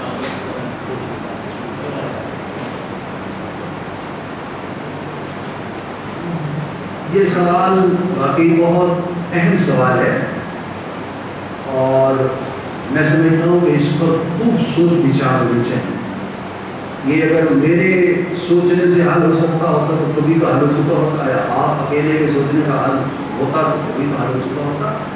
ہمارے سامنے یہ باتیں ہیں اور دہشت گردی کون کر رہا ہے؟ اور کیسے ہو رہی ہے؟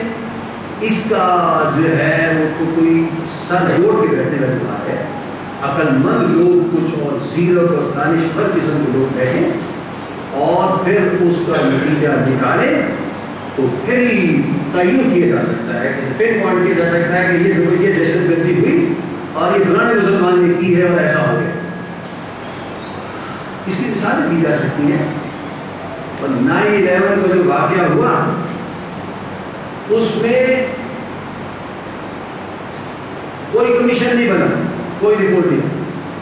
ابھی وہ واقعہ ہوئے دو گھنٹے میں نہیں گزرے تھے کہ معین ہو گیا فلانے نے کیا۔ ہے تو اس کے فلانے دوست نے فلاں جگہ پہ رہنے والا ہے، پکڑا گیا ہے، مارو اس کو یہ بھائی کس نے تعین کیا تھا وہ؟